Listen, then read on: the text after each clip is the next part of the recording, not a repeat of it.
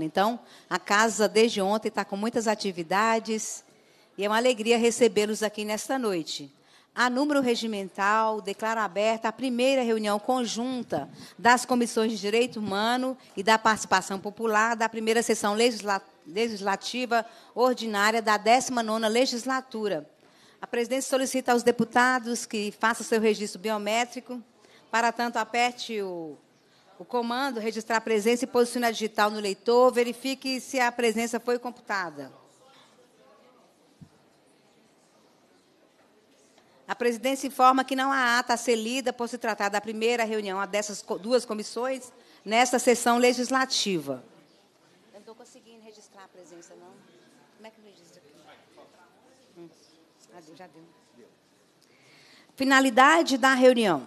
Esta reunião se destina a debater a importância do Conselho Estadual de Direitos Humanos de Minas Gerais, CONED, e a discutir e votar proposições das comissões. Doutor Jean Freire, presidente da Comissão de Participação Popular, que também é autor de requerimento que ori ori originou esta reunião, está para chegar e tem um pequeno atraso e para a gente também não comprometer o nosso horário de início, nós vamos fazer a composição da mesa e logo em seguida ele estará aqui conosco.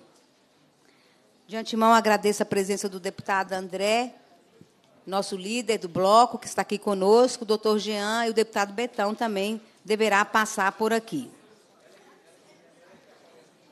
Passa-se a primeira fase da terceira parte da reunião, que compreende a audiência pública. Nós Convidamos é, alguns representantes da, do Conselho Estadual para fazer parte da mesa. Logo em seguida, nós vamos registrar a presença dos conselheiros e conselheiras. E à medida que a gente for registrando, a gente gostaria que as pessoas ficassem de pé para a gente identificar, agradecer, aplaudir a coragem, a disposição dessas pessoas em continuar compondo um conselho tão importante, acima de tudo, no momento que nós estamos vivendo. Queria convidar para fazer parte da mesa o Paulo Vaz Alquimim, ele é ouvidor de polícia da Ouvidoria da Polícia do Estado de Minas Gerais. Nilmário Miranda, presidente do Conselho Estadual de Defesa dos Direitos Humanos. O Robson Sávio Reis Souza, vice-presidente do Conselho Estadual. O Saulo de Freitas Lopes, conselheiro também do Conselho Estadual.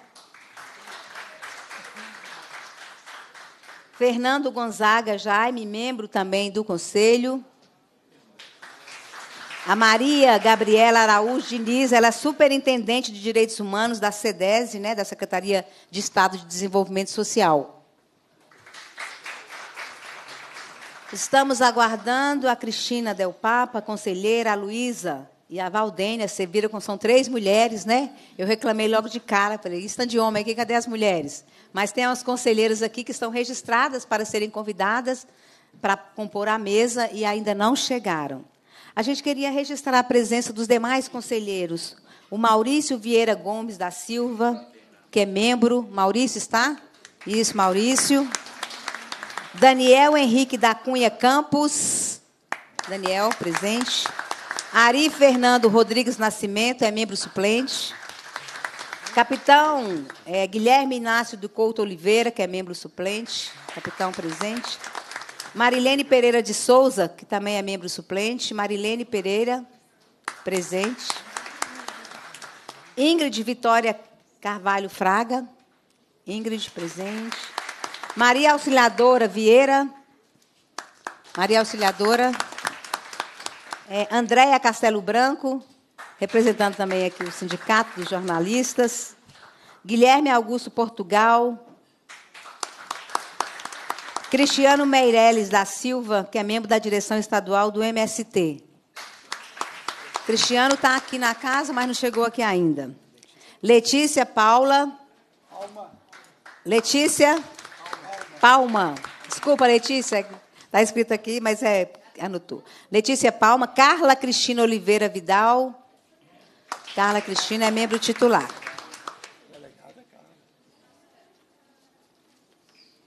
Ficou mais algum conselheiro ou conselheira não citado aqui na nossa nominação aqui?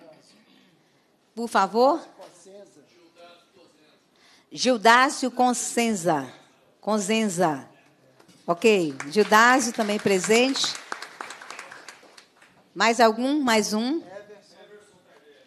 Everson Tardelli. Comissão da Verdade dos Trabalhadores. Provavelmente, depois da fala dos convidados, o microfone será aberto aos conselheiros e convidados nessa audiência também para fazer uso da palavra. É, a autoria do requerimento é da nossa comissão. Eu estou presidente da Comissão de Direitos Humanos da Assembleia. E o requerimento foi assinado por nossa comissão e também pela Comissão de Participação Popular do Dr. Jean Freire, que deverá em breve estar aqui. Eu vou passar para as considerações iniciais, depois eu também passo para o deputado André Quintão, e aí a gente segue com os convidados, e assim que o doutor Jean chegar, a gente também passa para ele tecer as considerações iniciais dessa audiência. Bom, eu, em primeiro lugar, gostaria de falar de saudar. Na minha acolhida, eu disse que era importante aplaudir os bravos companheiros e companheiras para compor um conselho tão importante. E, na nossa perspectiva, enquanto presidente da Comissão de Direitos Humanos dessa casa, ter como aliado o Conselho Estadual de Direitos Humanos significa um alinhamento do ponto de vista do enfrentamento que nós precisamos fazer na sociedade.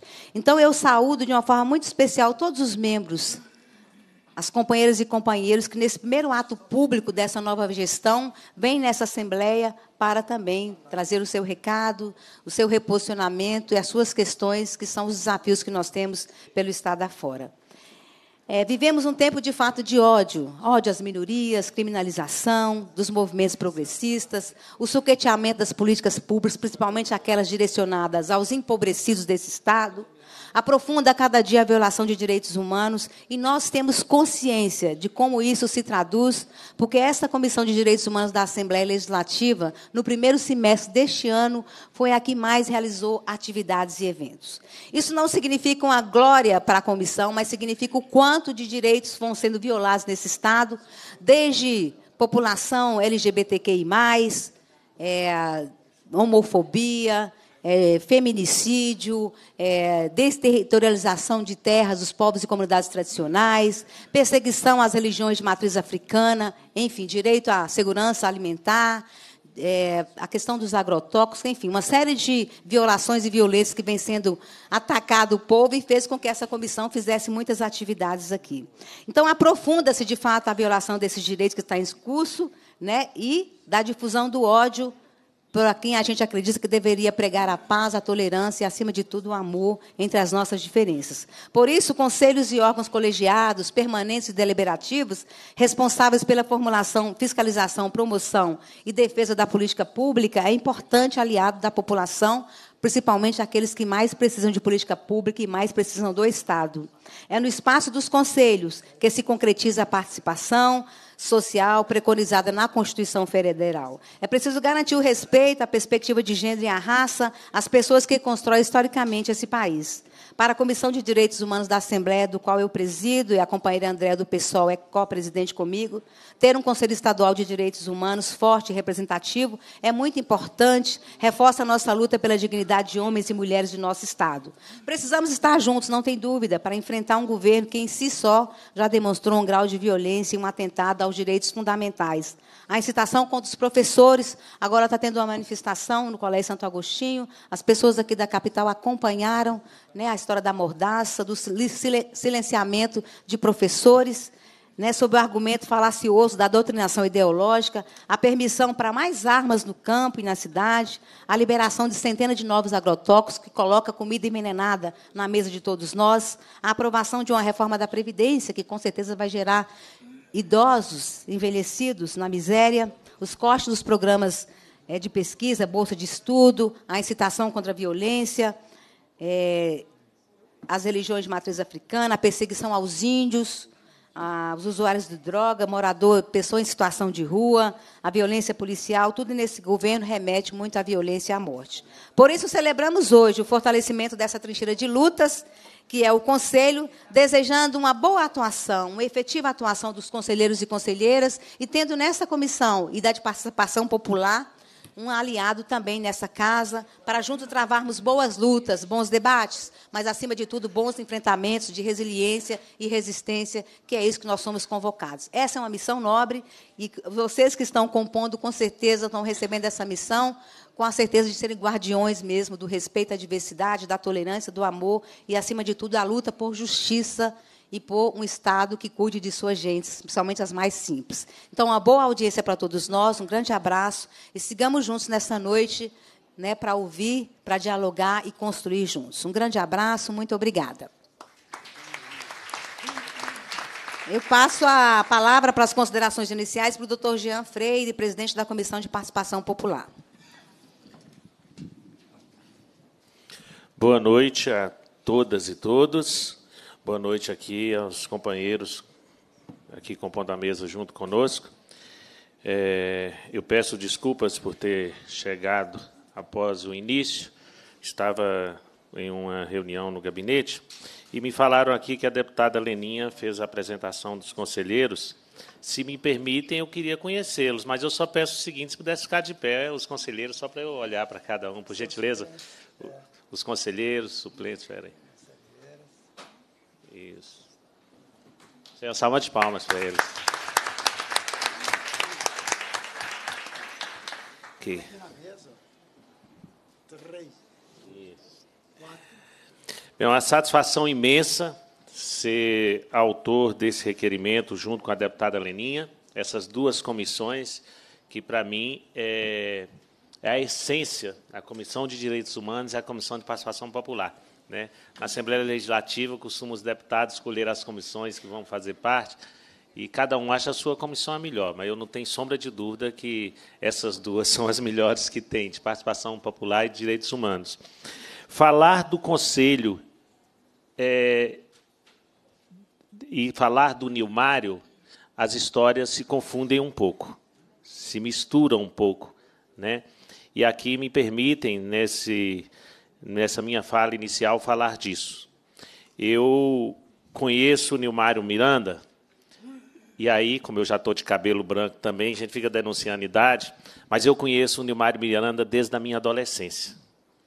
Desde quando, lá na Igreja Católica, na Teologia da Libertação, nas comunidades eclesiais de base, lá no Vale de Equitinhonha, eu estava sendo catequizado, digamos assim, na defesa dos direitos humanos, na defesa da água, da terra. E lá eu conheci o Nimário. Já atravessamos o Jequitinhonha juntos, de canoa. Já fizemos, eu adolescente, eu com 13, 14 anos, o Nilmário já aí na, na vida pública. Já fizemos reuniões em calçadas. Lá, eu me lembro muito bem, Nilmário, você é um dos que eu sempre admirei com a memória que você tem. Eu me lembro lá na comunidade de São Pedro, em Jequitinhonha, quando nós atravessamos o rio à noite para fazer reuniões com o povo, para dialogar com o povo. O Nilmário é, se confunde com essa história e com a história do nosso partido também. O Conselho foi criado em Minas Gerais em 1987, não é isso? O Nilmário foi é, parlamentar dessa casa, iniciando em 1987. Olha para vocês verem a ideia, a, a, a, história dele como parlamentar aqui nessa casa e, e a história do Conselho em Minas Gerais. É, a Leninha colocou aqui muito bem a importância nesse momento, a importância do Conselho em Defesa dos Direitos Humanos nesse momento, em que nós estamos a cada canto desse país, e principalmente quando se trata dos mais pobres, dos negros, dos gays, a cada momento o que estão sofrendo estes. Né? A gente abre é, o WhatsApp pela manhã e a gente vê professoras, como nós vimos aqui, Leninha, né? deputados pedindo é, é, investigação em escola por professora colocar um tema da atualidade. Né? E eu fico pensando, e estava pensando, a gente fazer um resgate se tem outro, esses temas também na época do governo Dilma, do governo Lula, se tinha, e o que, onde estavam esses que não falavam nada. Né? Então, hoje, a gente escuta aqui, a gente escuta aqui nessa casa, que na escola não deve se falar em marxismo, ou seja, a perseguição dos direitos é, é constante, no dia a dia, é 24 horas por dia. Né? E eu, Nilmário, mais uma vez quero dizer que a sua importância, com muita verdade, na minha formação política. Né? Foi lá que você saía daqui, você que é do Mucuri, saía daqui, morava aqui em Belo Horizonte, saía e percorria o Jequitinhonha conosco, falando do Partido dos Trabalhadores, falando dos direitos humanos, nos ajudando, junto com o padre Felite lá, nos catequizando, jovens que hoje estão na vida pública. Né? Maria José Hawaz Freire, né? Me lembro muito bem, eu sempre gosto de relatar o nome dela também, que me ajudou muito na minha formação política e profissional. E quando eu entrei nessa Assembleia, no meu primeiro mandato, no meu primeiro ano, eu chego de uma reunião de Brasília. Quando estou chegando na minha casa, me liga um jovem estudante perguntando se eu não poderia vir aqui no hotel na Espírito Santo, que a Polícia Militar do nosso governo estava não deixando os, eh, correram atrás dos alunos, os alunos entraram correndo para o hotel e a Polícia Militar nossa, né, daquele governo nosso, naquele momento lá, não deixando os alunos sair, e eu fui para lá.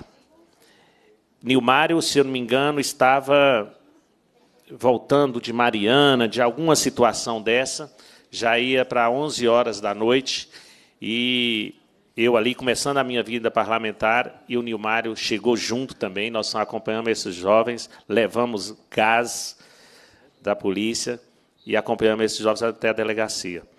Então, Nilmário, é, eu quero ser grato a você e dizer a satisfação de você estar nessa luta. Você nunca largou essa luta no governo federal, no governo do Estado, e está nessa luta constantemente nessa defesa dos que mais precisam. Defesa, Leninha, que eu vejo que você enfrenta muito bem no Norte, no Nordeste de Minas Gerais, aqui nessa casa, e que nosso mandato tem pautado muito, a Comissão de Participação Popular pautado muito essas questões. Em defesa das mulheres, contra a violência contra as mulheres, que está aumentando a cada dia, em defesa das nossas crianças e adolescentes. Nós temos que discutir a questão de direitos humanos também em outras instituições, Nilmário. Eu presenciei, e ao, tem companheira aqui nesse plenário que sabe disso e que me ligou no dia, eu presenciei, por exemplo, a perseguição a policial militar. A policial militar aqueles, aquelas, principalmente as mulheres policiais militares, que lutam no combate à violência contra as mulheres, que luta defendendo os direitos, sendo perseguida dentro da instituição. Eu já presenciei isso. Há poucos dias atrás, eu falei, se continuassem naquela ato de perseguição contra um policial, eu presenciei isso, eu queria que arranjasse um local também para eu dormir no quartel. E muito disso, Nilmário, muito inspirado na sua luta, viu? Muito inspirado, que eu vi que você nunca arredou. Se fosse preciso ir para dentro da prisão, onde quer você iria. Né? Se tem, tem, tem muitas figuras nesse país que nos inspira. Mas eu destaco duas nesse país que, desde a minha adolescência, eu me inspiro muito. É o nosso companheiro Suplicy, e você. Né? Ver vocês na luta, ver vocês na frente, defendendo o que mais precisa, nos emociona, nos dá força e nos faz é, saber que nós estamos no caminho certo. Então, o meu muito obrigado, que nós possamos ter uma bela audiência. Eu peço desculpas se eu tiver que sair antes, já conversei com a Leninha, porque eu estou com um problema de saúde, não estou conseguindo ficar muito tempo na mesma posição. Eu peço desculpas se eu tiver que sair, viu, Leninha? Mas sei que os trabalhos vão estar sendo conduzidos aqui maravilhosamente bem. Muito obrigado.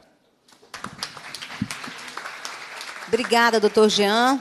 Antes de passar para o deputado André Quintão, a gente queria registrar algumas presenças, né? O Guima, o presidente eleito do PT de Belo Horizonte, está aqui conosco. A Macaé, nossa companheira, ex-secretária de Estado de Educação. Carlos Gomes já foi também parlamentar desta casa. Assessoria, o Pedro, assessor do deputado federal Padre João. Se tiver outra assessoria de outro deputado federal, também pudesse é, indicar aqui para a mesa. Também a gente queria é, registrar a presença dos estudantes da UENG de Tuiutaba e de Vinópolis, estão aqui. A Jordânia Alvarenga, coordenadora de assuntos estudantis e comunitários. O diretor de Ciência e Tecnologia da Uni é Patrick Souza, da União Nacional dos Estudantes, presente aqui conosco. Obrigada pela presença. Vamos passar, então, para o deputado André Quintão para tecer suas considerações iniciais. Bem, gente, boa noite a todas, boa noite a todos. Cumprimentar a Leninha, presidenta da Comissão de Direitos Humanos, Jean, presidente da Comissão de Participação Popular, conselheiros e conselheiras do Conselho Estadual de Direitos Humanos de Minas Gerais, militantes aqui das boas causas. Então, vou ser muito breve, Leninha. É, primeiro, saudando né, a, a, todos os conselheiros aqui nominados na pessoa do querido amigo Neumar Miranda, dizer que esse debate que as comissões realizam é muito importante é, face ao momento que nós estamos vivendo no Brasil. Nós sabemos dessa onda conservadora, essa onda de intolerância, essa onda de desrespeito aos direitos humanos, essa tentativa de desmonte dos mecanismos de participação popular. Não é à toa que essa audiência está sendo realizada por duas comissões que simbolizam exatamente a resistência. Nós enfrentamos hoje um debate na sociedade sobre questões muito caras, muito é, vinculadas a uma visão de mundo, questões civilizatórias. E quando a gente olha a história em Minas Gerais, a gente sabe a importância que o Conselho Estadual teve exatamente na defesa dos direitos humanos e também da democracia e da participação popular. O nosso bloco, né, o Bloco Democracia e Luta, é, conseguiu, nesse início de legislatura, espaços aqui importantes, e por isso nós priorizamos comissões que têm a ver com essa pauta civilizatória. Então, hoje nós presidimos a Comissão de Direitos Humanos com a Leninha, a Comissão de Participação Popular com o Jean, a Comissão de Mulheres com a Marília, a Comissão de Educação com a companheira Beatriz Cerqueira, a Comissão de Trabalho, Previdência e Assistência com o companheiro do PCdoB Celinho do Sintrocel. Então, são comissões que têm vinculação com a pauta transformadora, com a pauta da inclusão, com a pauta do respeito humano, com a pauta da diversidade e da pluralidade. Então, eu queria saudar a todos vocês. É, hoje nós estamos aqui quase que num revezamento, até em função desse imenso número grande de comissões que a gente preside e integra. Eu sou líder do bloco, Ulisses é líder da minoria. Então, Ulisses deve vir, viu, Leninha? Daqui a pouco eu vou lá na CCJ, que a gente está discutindo o projeto da Codemig, o Betão foi representar também o bloco lá na, no Santo Agostinho, Loyola, né, nessa discussão que você mencionou, mas ele está voltando também. Então a gente vai se revezando aqui, mas eu é, desejo muito êxito a todos os conselheiros e conselheiras e dizer que a gente está vivendo um momento importante. A gente, quarta, quinta-feira, né, Jean, vai, vai iniciar o processo de discussão do Plano Plurianual de Ação Governamental 2020-2023. Então, é importante também que a gente estabeleça uma agenda de trabalho com o Conselho é, Estadual de Direitos Humanos, fundado nas políticas públicas do Estado. A gente tem outros mecanismos aqui, como a Assembleia Fiscaliza, também de monitoramento das ações do Estado. Então, além desse significado simbólico e de discussão dessa, é, desse fortalecimento do Conselho, tenho certeza que a gente vai estabelecer uma agenda de trabalho a ser defendida por todos nós. Ótima audiência pública. Mais uma vez, parabéns, Lenin e Jean. Obrigada. Nós queríamos também registrar a presença do Estevão, que é representante da deputada federal Margarida Salomão, presente aqui. Nós tínhamos registrado a presença do Cristiano, ele não estava na hora, ele chegou ali do MST presente também nessa audiência. Ah. Nós vamos para a fase dos convidados para fazer as suas intervenções e a gente também é, solicita, a gente solicitou as, algumas inscrições prévias. Então nós temos três inscrições além dos convidados. Então só para a gente mencionar um pouco o tempo que a gente tem, né? Até até às 10, provavelmente, né? Mas vamos ver se a gente consegue é, finalizar antes disso, né? Mas, de qualquer forma, regimentalmente, nós temos até esse horário. Aí eu queria passar a palavra, e aí não, o cronômetro não está funcionando, mas eu vou avisar é, as pessoas quando estiver excedendo demais o tempo. Né? Nós temos um, número de conselheiros aqui representados, os demais conselheiros estão aí, os que vão participar também da fase de debate dessa audiência. Nós, então, vamos é, convidar o, presidente do Conselho, Nilmário Miranda, para fazer uso da palavra.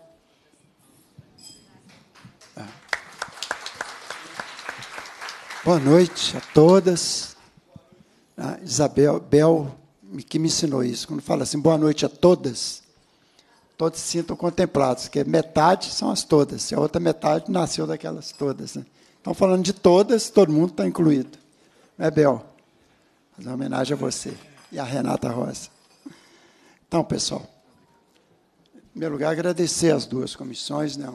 meus amigos e companheiros, é, Leninha e Jean, o André também, que foi Aliás, foi o primeiro presidente da Comissão de Participação Popular, né? E, e o proponente da criação dessa comissão. Eu sei que ela vai ter um, a, a de participação um papel importantíssimo, que é a do PPAG, né? E nós vamos participar. Nós vamos estar presentes dia 25. Tem uma parte sobre direitos humanos, né, auxiliadora, doutora auxiliadora, que é da Defensoria Pública. Vai estar aí com outros companheiros também. Mas olha, pessoal, esse conselho, como disse o Jean, doutor Jean, é de 87. Foi um dos primeiros do Brasil. Naquela época ainda tinha poucas, não existia nem comissão de direitos humanos na Assembleia, na Câmara dos Deputados, nem no Senado. Só foi criada em 95 a da Câmara, Senado, muitos anos depois. E tinha pouquíssimas. Minas foi uma das primeiras comissões da Assembleia a ser criada. Foi o Grande Sul e Minas, as duas primeiras. E foi, se não me engano, foi o segundo conselho do Brasil também, em 87. E ela teve papel admirável né, na história aqui da, do Estado. Nós temos aqui hoje o, o Zé Francisco, cadê? O Zé Francisco está ali. Ele foi ouvidor de polícia, foi escolhido pelo CONED naquela época, nos primórdios lá do Conselho, uma das pessoas mais lembradas de Minas Gerais, Zé Roberto Gonçalves de Rezende, o primeiro ouvidor de polícia foi escolhido pelo CONET. E ficou conhecido no Brasil inteiro pela sua atividade como ouvidor de polícia. Em seguida, em seguida veio a Maria do Rosário Caiafa, também escolhida pelo CONET. E terceiro foi o Zé Roberto, foi o Zé Francisco que foi o terceiro, o terceiro ouvidor, né? E depois entrou um governo, 82, 2002, quer dizer, mudou a sistemática. Fez uma reforma, colocou a ouvidoria dentro de um. Enfim, diluiu um pouco.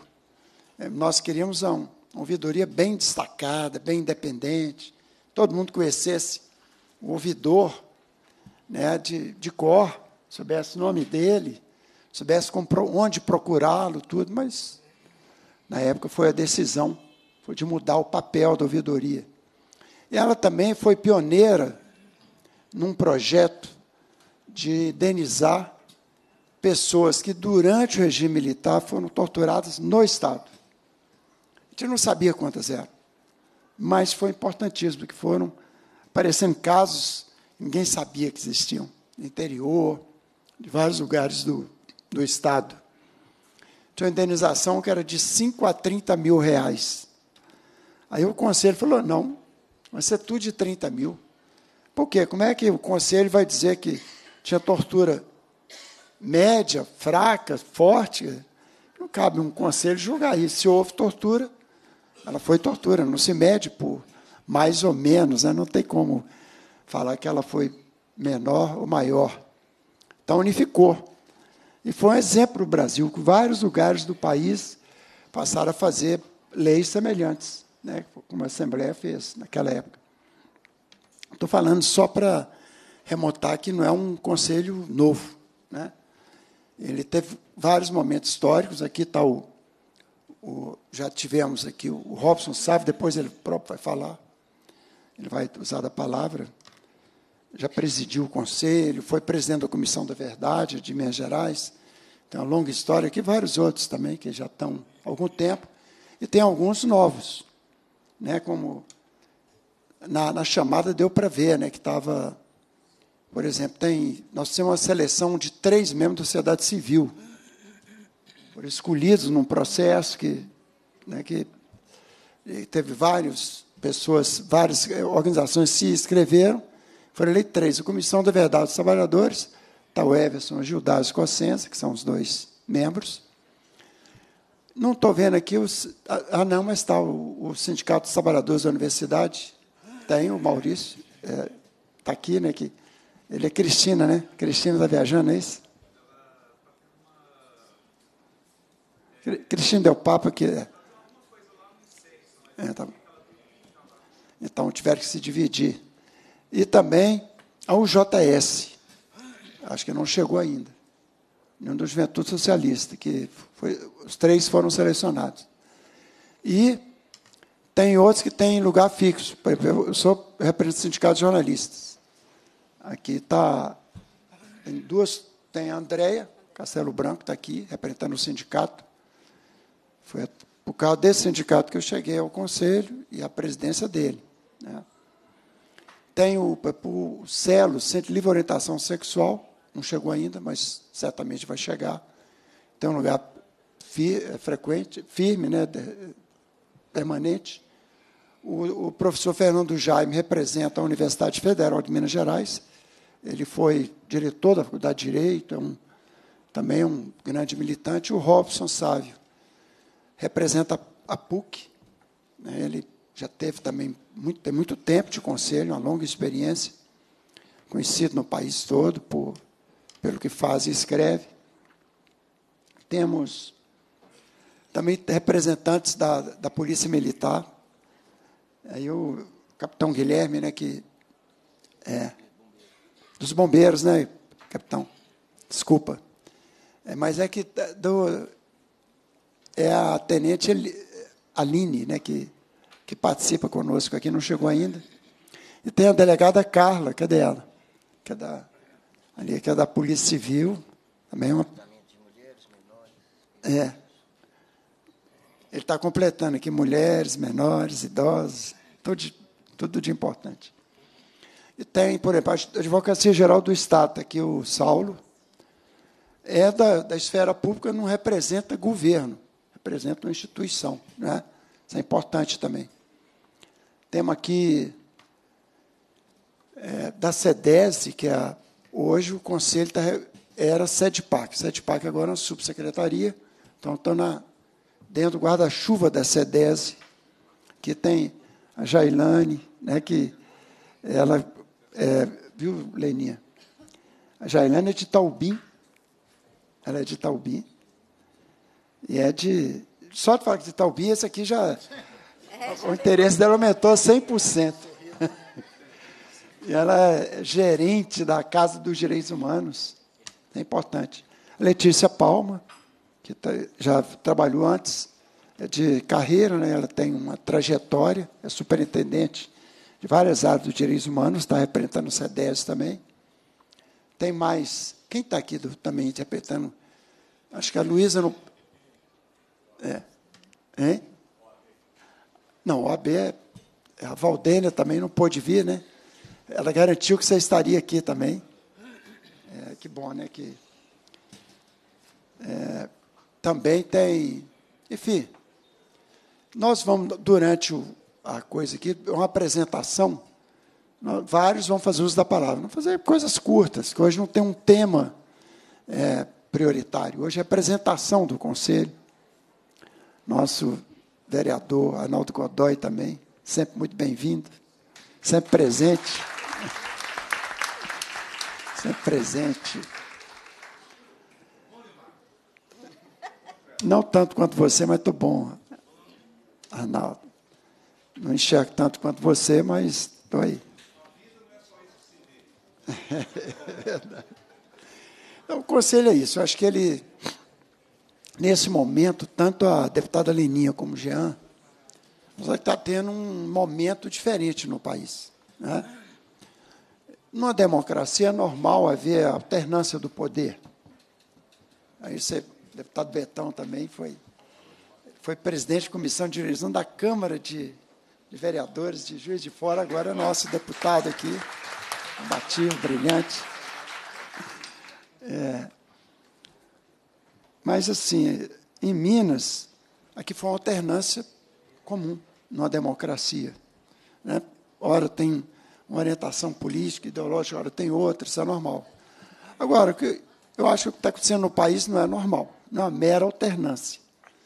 É, eu já eu fui deputado federal por vários mandatos, fui ministro de Direitos Humanos no governo Lula.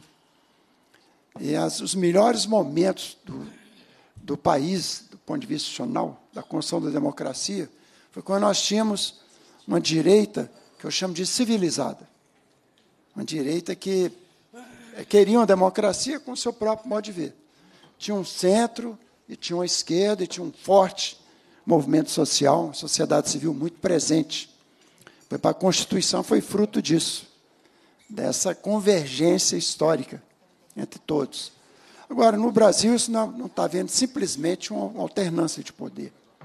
Né? Quando você tem um presidente que defende tortura, que ontem defendeu é, que o Chile está assim porque lá em 90 tiraram o Pinochet, que é um dos maiores genocidas da história mundial, né, da história contemporânea.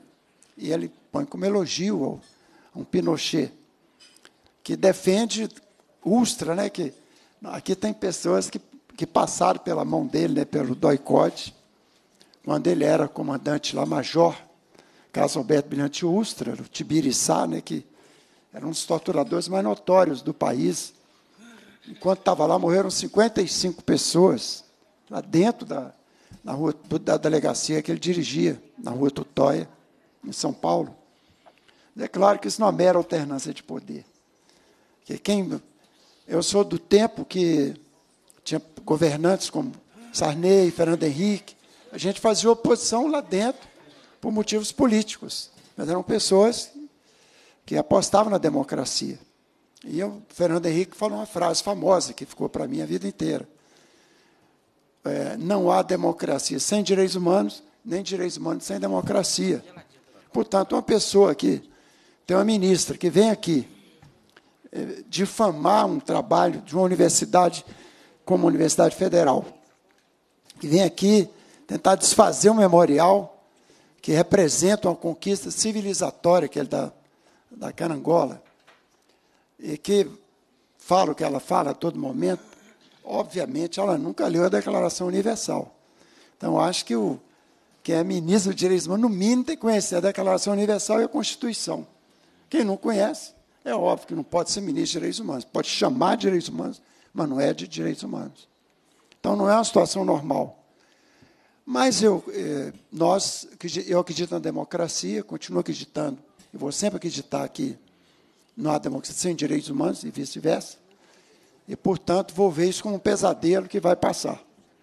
Né? Então, são coisas distintas. Eu falo porque, no caso de Minas, é, o, o governo está mantendo várias atividades políticas que foram é, por essa Assembleia, conselhos, por exemplo, que foram criados por essa Assembleia, respeita os conselhos. Trata de maneira diferente o papel deles, mas não importa, respeita.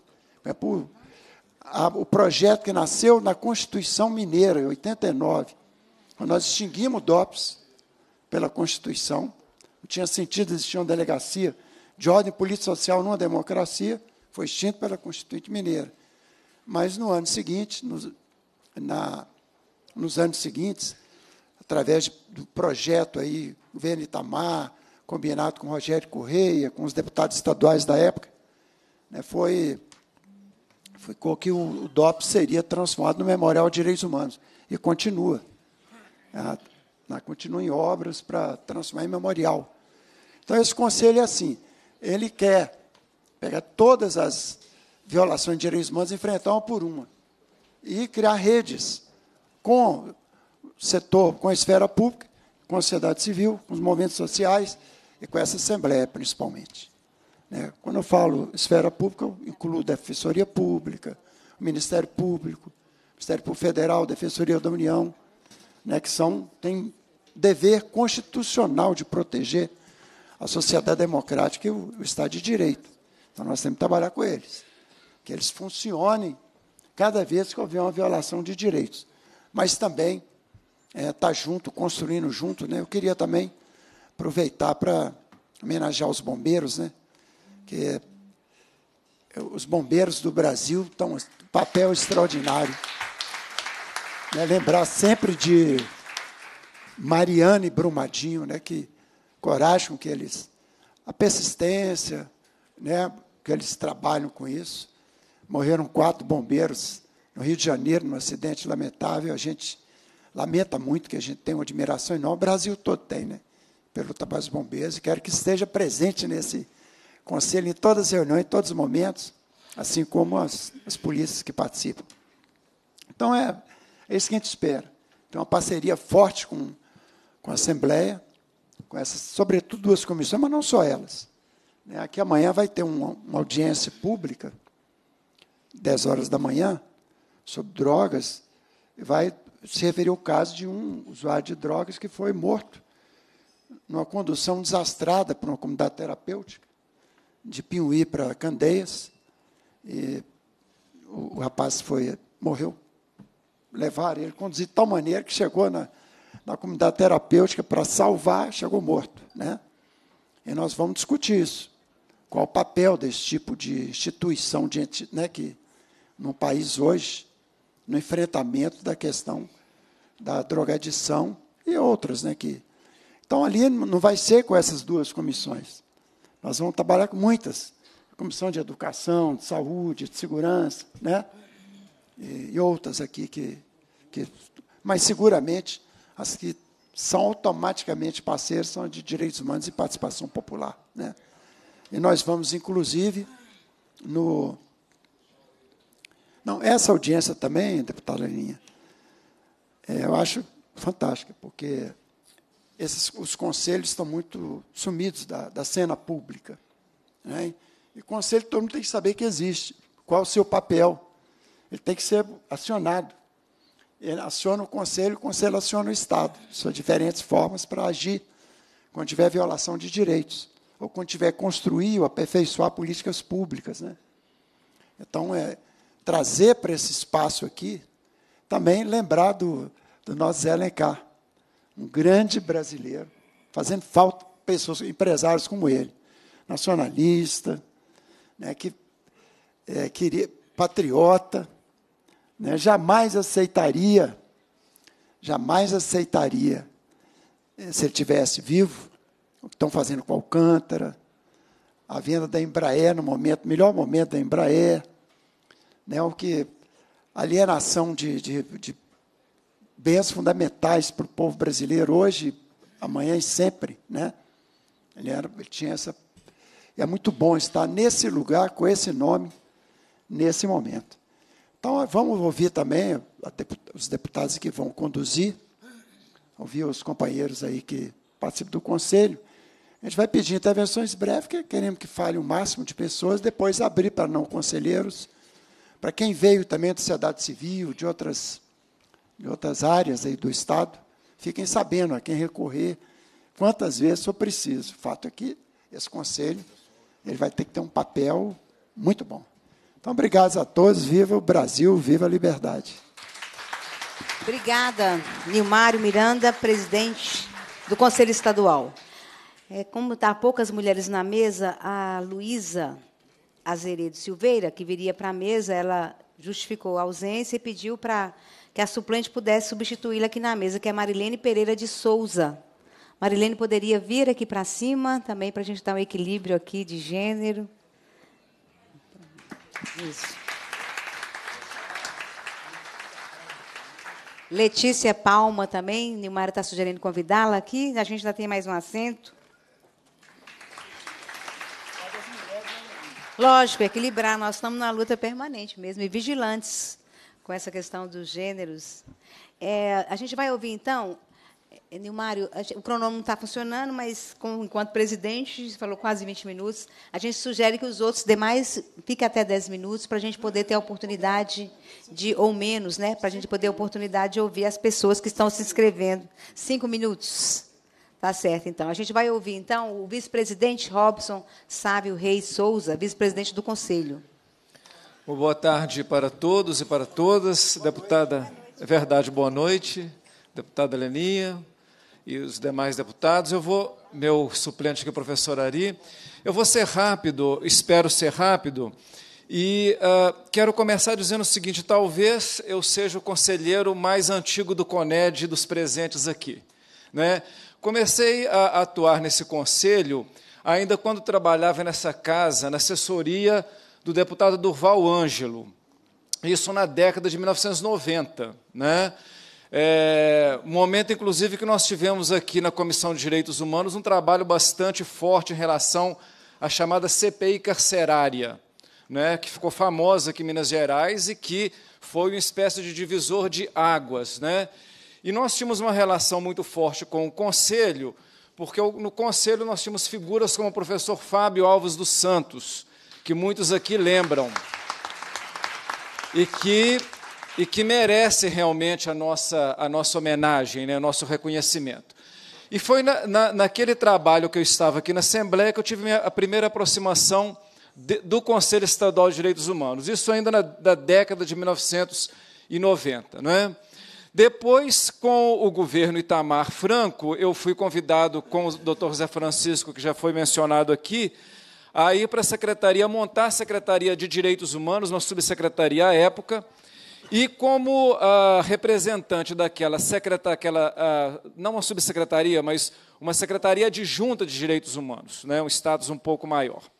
E como uh, membro daquela secretaria, eu fui nomeado representante do governo no Conselho Estadual de Direitos Humanos e, como o Nilmário disse, também fui convidado a ser o coordenador da Comissão de Indenização a Vítimas de Tortura do Estado. Né? Comissão que nós coordenamos durante cinco anos, inclusive depois do, do, do final do governo do, do, uh, do Itamar Franco, ainda continuamos mais dois anos na coordenação. Né? Foi um trabalho bastante árduo, mas bastante proveitoso, porque realmente essa comissão ela marcou história aqui em Minas Gerais. E foi um trabalho fundamental, inclusive, para o trabalho que nós viemos fazer posteriormente, agora mais recentemente, na Comissão da Verdade aqui de Minas também. Mas então fiquei um período de mais ou menos uns uh, mais uns cinco anos no CONED, já, já na condição de conselheiro e de coordenador dessa comissão. Passei um, um, uns, alguns anos, alguns poucos anos fora, e logo depois a PUC me indicou para ser conselheiro, representando a universidade. E, como representante da PUC, já estou no conselho há uns sete, oito, talvez alguns anos a mais. E até brinquei com o reitor recentemente, quando fui reconduzido, que, que era bom, né? A PUC tem 2.500 professores, era bom que viesse outro, etc. e tal. Mas ele fez questão que eu e o professor Ari continuássemos, a gente fica muito honrado. Então, realmente, é, digamos assim, no, nos aliás, últimos. Aliás, o Dom Mol fez uma mensagem, mandou uma mensagem também para esse conselho, para parabenizar a todos, desejando muita força aqui. Tá certo, fica registrado então.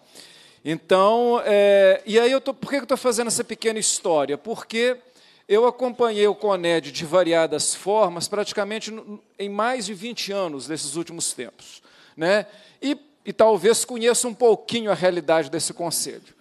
E a primeira coisa para dizer é o seguinte: é um conselho que, pela sua característica, ele é um conselho que incomoda muito os governos, né, de um modo geral, né, os poderes, porque trata de muitas temáticas que são temáticas muito complexas. Né? Por exemplo, vou citar duas temáticas que não agrada nenhum governo tratar. Primeiro, a questão relacionada ao nosso modelo de justiça criminal, principalmente como funciona o nosso modelo de segurança pública, não é? que precisa de reformas e precisa de ser alterado. E é um tema que ele é um tema espinhoso. Né? Nós, por exemplo, que estamos aqui, acho que a maioria da classe média, conseguimos perceber que com a redemocratização a democracia atingiu a todos nós. Mas será que nós podemos dizer que a democracia atingiu plenamente as favelas e as periferias desse país no processo de redemocratização? Os direitos humanos, realmente, na perspectiva de indivisibilidade, interdependência, chegaram a todas as pessoas? Como que pode, num país como o nosso, você tem um genocídio de jovens negros da periferia todos os anos. Não é verdade? Então, nós temos algumas coisas que colocam um pouco essa, esse nosso modelo, né, digamos assim, de democracia, uh, que caminhou bastante, teve vários processos e progressos, mas que ainda deixa muito a desejar em termos de uma cidadania efetiva para a maioria da nossa população. E esse é um tema que ele é um tema muito incômodo e inconveniente, né? e que um Conselho de Direitos Humanos tem que tratar. Tem que tratar por quê? Porque lá chegam pessoas que sofrem dessas violações cotidianamente e que demandam respostas efetivas por parte dos órgãos do Estado.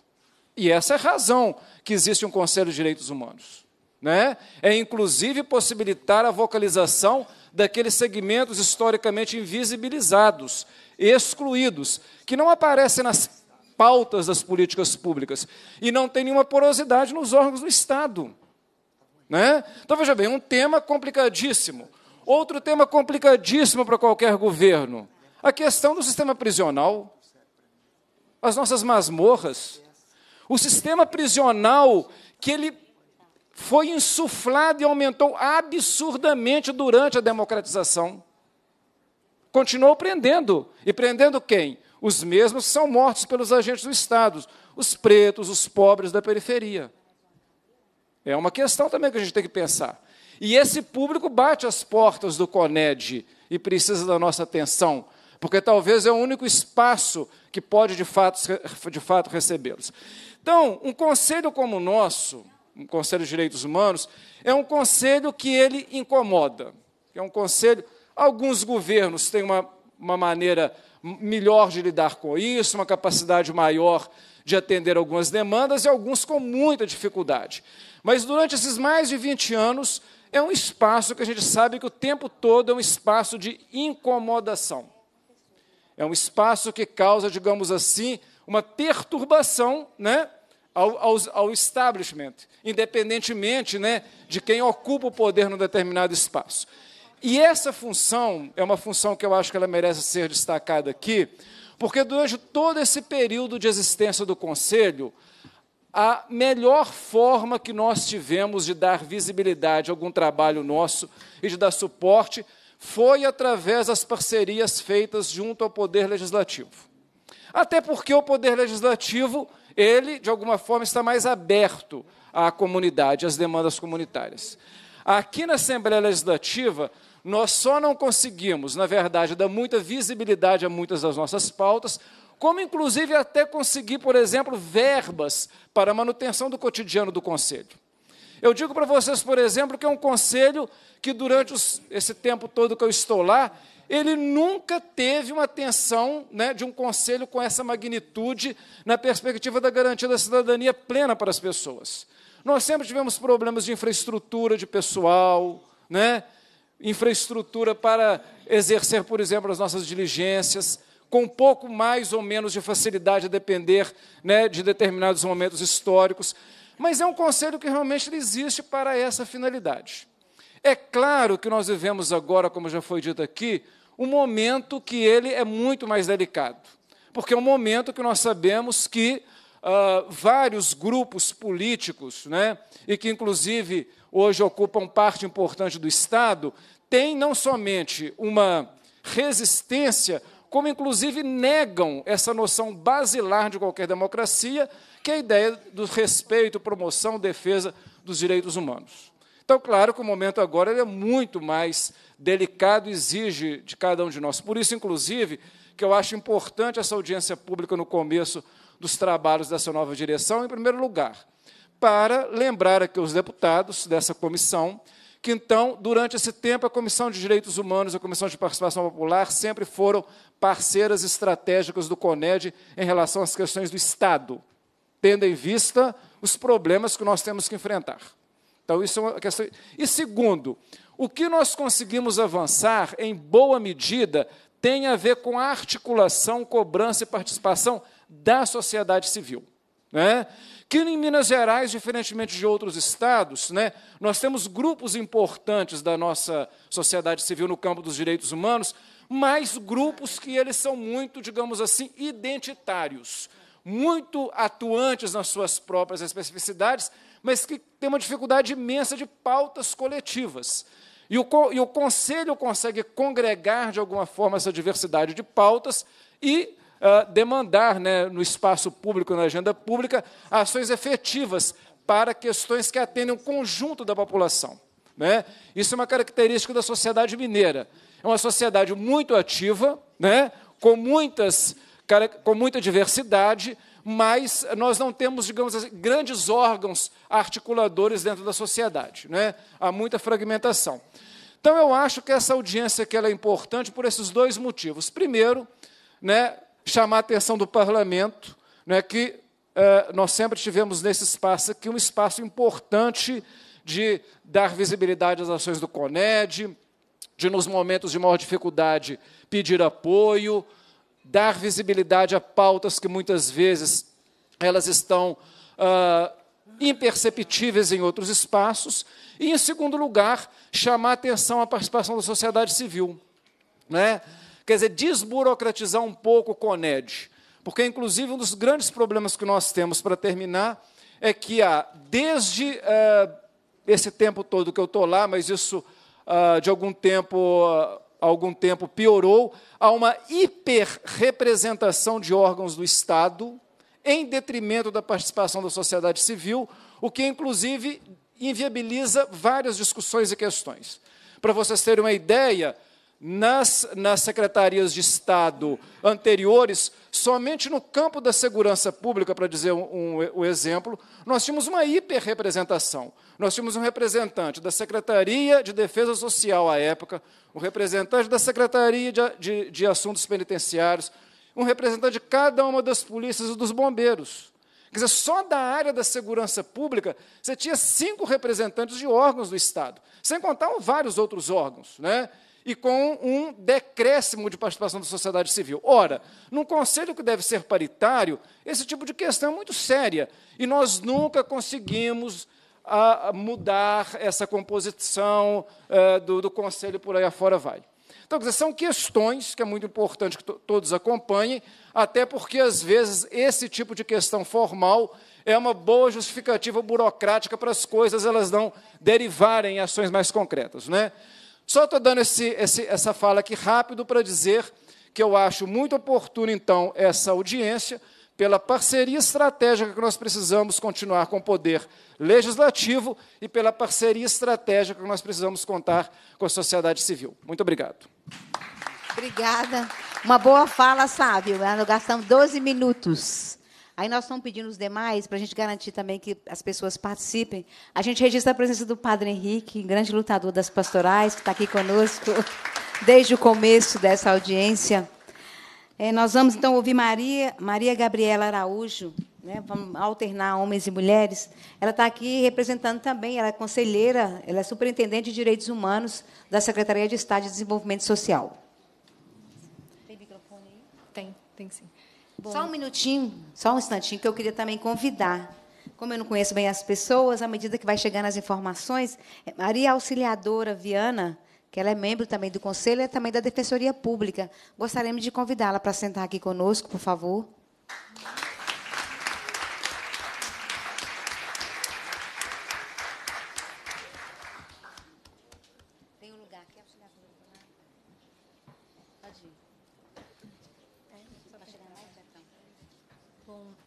Boa noite a todas. Eu queria saudar a, a mesa no nome da, da deputada Leninha é, e falar em nome da, da Subsecretaria de Direitos Humanos é, nesse, nesse momento é, é, reconhecer a importância de, de ter a participação popular para a execução de política pública em todo o seu ciclo. Né? Política pública de direitos humanos não é possível executar sem ter participação popular, sem ter é, essa abertura democrática, não só né, no momento de elaboração, mas principalmente na execução, e reconhecer nesse lugar né, de técnico que, que a gente vem ocupando as dificuldades que a gente tem se não tiver o apoio da rede. E cada vez mais isso vem se apresentando na, nas medidas em que a gente vai executando as ações, os projetos.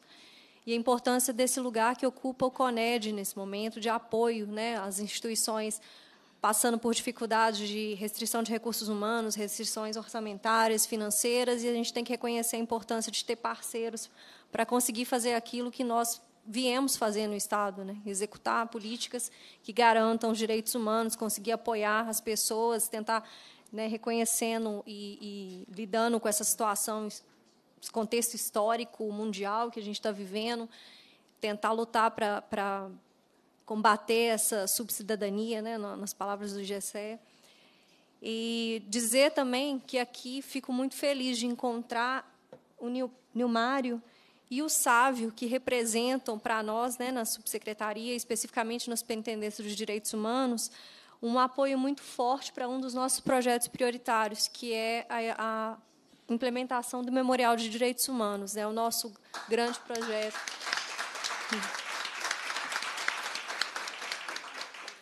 É, como eu venho dizendo né, para a equipe e para todo mundo, é o nosso projeto não só de executivo, mas é principalmente um projeto de sociedade mineira e é a nossa grande entrega que a gente espera fazer, mas que a gente conta e precisa do apoio dessa rede, que a gente precisa fortalecer cada vez mais para que ele esteja aí presente, né, que ele esteja inaugurado até o fim do, do governo. É, eu queria agradecer a palavra e vou deixar a Letícia também para complementar a participação pela subsecretaria. Letícia. Obrigada. Então, vamos passar para a Letícia, por favor. Dá para passar o microfone aí?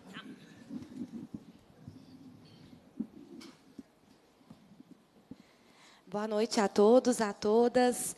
É, saúdo a mesa no nome da deputada Leninha. E quero cumprimentar também o presidente, agora o presidente Nilmário Miranda, vice-presidente Robson Sávio e a primeira secretária. Cadê ela? Conceição já está aqui. Maria Auxiliadora, boa noite. É, saúdo a, a, todos e gostaria também de cumprimentar os colegas da CEDPAC e da CEDESE que estão aqui presentes. Né, muitos, é, a presença de vocês aqui nos fortalece e diz de, uma, de um fortalecimento também das políticas de direitos humanos no âmbito do nosso Estado. Né, essa presença maciça, né, ainda que em diferentes gestões, é, mostra que a política de direitos humanos ela, ela tem que ultrapassar gestões, né? ela tem que ser política de Estado. Né? E é por isso que, que a gente luta. É, bom, é uma, é uma satisfação né, a gente contar com é, Nilmar Miranda, Robson Sávio, que são, como a Gabriela já mencionou, pilares né, e para qualquer pessoa que sabe um pouco da história dos direitos humanos no Brasil, são é, grandes precursores. Né? Então, a gente fica é, até emocionado né, de contar com essa, com essa parceria. E eu queria dizer né, da importância de existir essa parceria entre o Conselho e o Executivo, né, o Conselho e o Poder Público de forma geral. Né? A gente tem, enquanto Poder Executivo, duas tarefas né, muito importantes. A primeira é conseguir estabelecer uma estruturação para que o Conselho funcione. Né, a gente anda é, enfrentando dificuldades, principalmente pela restrição orçamentária desse ano de 2019, para conferir essa estruturação adequada aos conselhos e às, às outras instâncias de participação. Mas isso é algo que a gente previu né, nos, nos, instrumentos de planejamento para pro, os próximos quatro anos. Eu espero que a Assembleia colabore também né, na aprovação do PPAG e nos demais nos demais é, planos orçamentários, para que a gente consiga conferir, de fato, essa estruturação. O que nós conseguimos fazer até agora, né, e, e pra, especificamente para o CONED, é a composição de um apoio técnico. Né? Então, a gente tem a nomeação, é, houve no dia 15 de outubro, de duas pessoas, né, o Tiago Coati e a Ana Carolina Rezende. É, os dois comporão a equipe técnica do CONED, para poder fornecer essa estrutura para as comissões e para que o conselho funcione.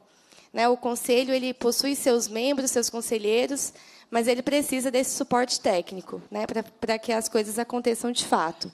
Então, já era uma demanda antiga do conselho, a gente conseguiu essas duas é, nomeações na última semana e a gente espera que, que, que realmente se fortaleça. É, outra, é, bom, dentro dessa questão das nomeações, a gente teve a nomeação da, da Ana Carolina, que eu mencionei, para compor a CEIVIT. né, que é uma comissão muito cara do CONED, que é a Comissão de Indenização a Vítimas de Tortura, né, para que essa pauta ela retome, né, para que a gente tenha muitas tarefas sobre ela, e é muito importante nesse momento para o fortalecimento da democracia a gente garantir né, a retomada dessa, dessa pauta e das atividades relacionadas a ela no âmbito do Conselho. Né, no mais, não, não vou me estender, mas eu gostaria de, de só de enaltecer aqui a presença da, da senhora Maria Tereza. Ela comparece ao CONED, né, ela compareceu como convidada na última plenária, e eu acho que o exemplo dela, né, ela traz a pauta da, da questão prisional, né, mas o exemplo dela de sociedade civil participando diretamente no CONED é, é fortalecedor para nós, né, enquanto Conselho de Direitos Humanos, e fortalece também a política. Então, quero pedir uma salva de palmas à participação popular real.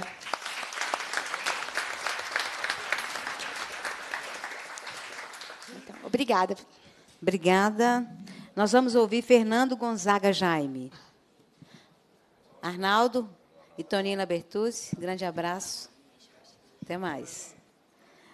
Então vamos ouvir o Fernando. Boa noite a todas. Boa noite, deputada Leninha, em quem eu cumprimento todos os deputados e as demais autoridades aqui presentes, nosso presidente, Milmário Miranda, vice-presidente Robson Sávio. É, eu queria trazer algumas palavras de um momento muito delicado que nós estamos é, vivenciando né, nesse momento. Quando o Nilmário colocou aqui esse embate entre direita e esquerda, eu acho que, na verdade, nós retrocedemos muito mais do que um debate político civilizado. Né? São os padrões civilizatórios que estão sendo ameaçados, questionados e vilipendiados dentro da proposta de poder que está estabelecida aí. Por isso, ressalta sobremaneira a importância desse Conselho de Defesa dos Direitos Humanos. Né? E não só de enfrentamento, mas fundamentalmente de resistência e de denúncia às violações que nós estamos assistindo. É, fiel à, à minha origem, né, eu, eu, integro o Conselho na qualidade de representante da Universidade Federal de Minas Gerais, uma pauta que, que tem me, me ocupado de forma prioritária é exatamente a questão da educação. E, e nos dois pontos, né, na, na, na questão do ensino do ensino infantil e, e, do tratamento às crianças e os adolescentes e na questão do ensino superior. É, algumas notícias recentes, não notícias, desculpa, alguns fatos recentes, eles têm me deixado absolutamente estarrecidos, preocupados e, ao mesmo tempo, impotente como é que nós vamos lidar para contornar isso. Né? É o tratamento que está sendo dispensado aos adolescentes que estão cumprindo medidas de restrição de liberdade nos nossos centros de internação. Os casos de autoextermínio, de tentativa de autoextermínio, estão se proliferando, sendo que, até o momento, nenhuma iniciativa concreta por parte do Estado foi adotada para prover assistência psiquiátrica, assistência psicológica a esses adolescentes. Né? Deixar de, de cuidar das nossas crianças e dos nossos adolescentes é simplesmente condenar o nosso futuro. Então, essa, essa é uma temática também que vem aí, dentro de toda a complexidade já que o professor Robson coloca aqui. Né? E agora uma questão que me atinge diretamente como membro da comunidade acadêmica da Universidade Federal de Minas Gerais, que é a criminalização da gestão da universidade pública e de qualidade. Os reitores e as gestões da universidade foram criminalizadas simplesmente por cumprirem com a sua missão e com o seu papel de garantir, né, como responsáveis, servidores públicos, um ensino público de qualidade e de excelência, em que contribui de uma forma notável para o desenvolvimento nacional, com a produção de conhecimento, com a produção de pesquisa, né, e com a formação de cidadãos autônomos, responsáveis e compromissados com a cidadania. Especificamente no caso do Memorial da Anistia, Tá? O Memorial da Anistia ele foi é, escolhido para ser sediado em um antigo prédio da Universidade Federal de Minas Gerais por motivos históricos. Tá? A Universidade Federal sempre foi um, um centro de resistência a qualquer tipo de violação de direitos humanos, a qualquer atentado à democracia nesse país. Né? O sangue dos nossos membros da comunidade derramaram em defesa da nossa liberdade. E por isso gerou essa resistência. E, nesse momento, é importante, eu agradeço muito o apoio da, da, da Assembleia Legislativa, deputada, para trazer a oportunidade desse espaço de fala para o Conselho de Direitos Humanos, para apontar que, até o momento, nenhuma irregularidade foi detectada em todos os processos de apuração de responsabilidade que foram instaurados no âmbito da Polícia Federal, no âmbito da Controladoria Geral da União. Tá? E ainda assim, incansavelmente, é, tenta-se deslegitimar todo o trabalho que foi feito pela universidade, todo o trabalho de pesquisa, um, um trabalho de pesquisa historiográfica magnífico, sob a coordenação da professora Heloísa Starling, tá? que cumpre, na verdade, uma imposição decorrente da condenação do Brasil na Corte Interamericana de Direitos Humanos. Isso não é um ato de voluntariedade, mas é um ato de compromisso internacional que o Estado Democrático Brasileiro assumiu perante a comunidade internacional de resgatar e de respeitar o direito à verdade e à memória. Por isso é importante essa, essa interação entre a sociedade civil e os poderes constituídos para nós defendermos o que nós temos de mais precioso. E é muito triste verificar essa, esse, essa campanha de difamação da, das atividades da universidade pública de um modo geral nesse país. A desacreditação da universidade pública é também uma situação né, que gera em cascata violações sequenciais de direitos humanos. E a sociedade, e nós, enquanto integrantes desse conselho, e eu, enquanto membro da comunidade acadêmica, vou né, conclamar mais uma vez que nós cerremos fileiras, né, que nós nos unamos em prol da defesa de um patrimônio que não é de ninguém, mas é um patrimônio do povo brasileiro. Tá?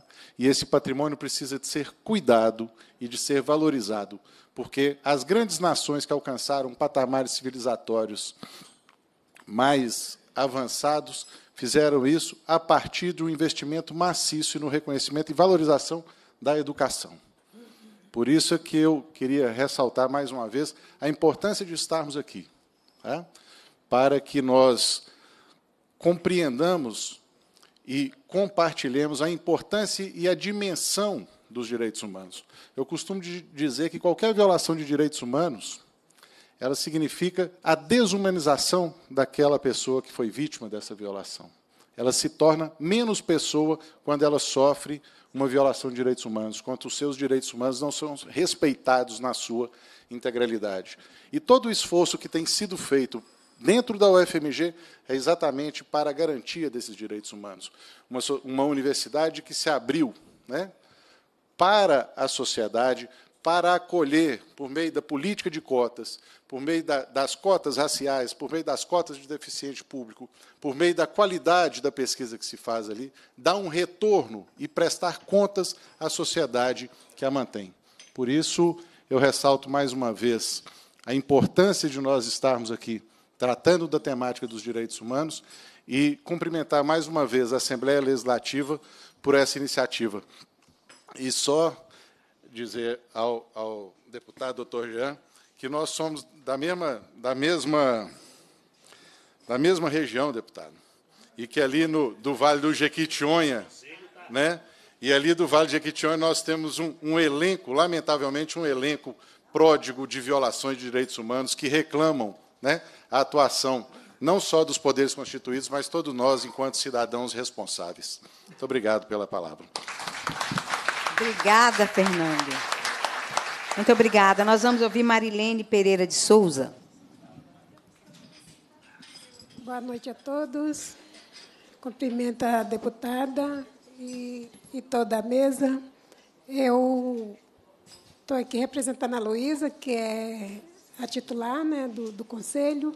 A gente trabalha na Secretaria Estadual de Saúde, é, na coordenação de saúde indígena e de política de promoção da equidade em saúde. A gente trabalha com as populações né, mais vulneráveis, que são população indígena, população negra, população privada de liberdade, é, circense, é, população cigana e assim população é, do socioeducativo.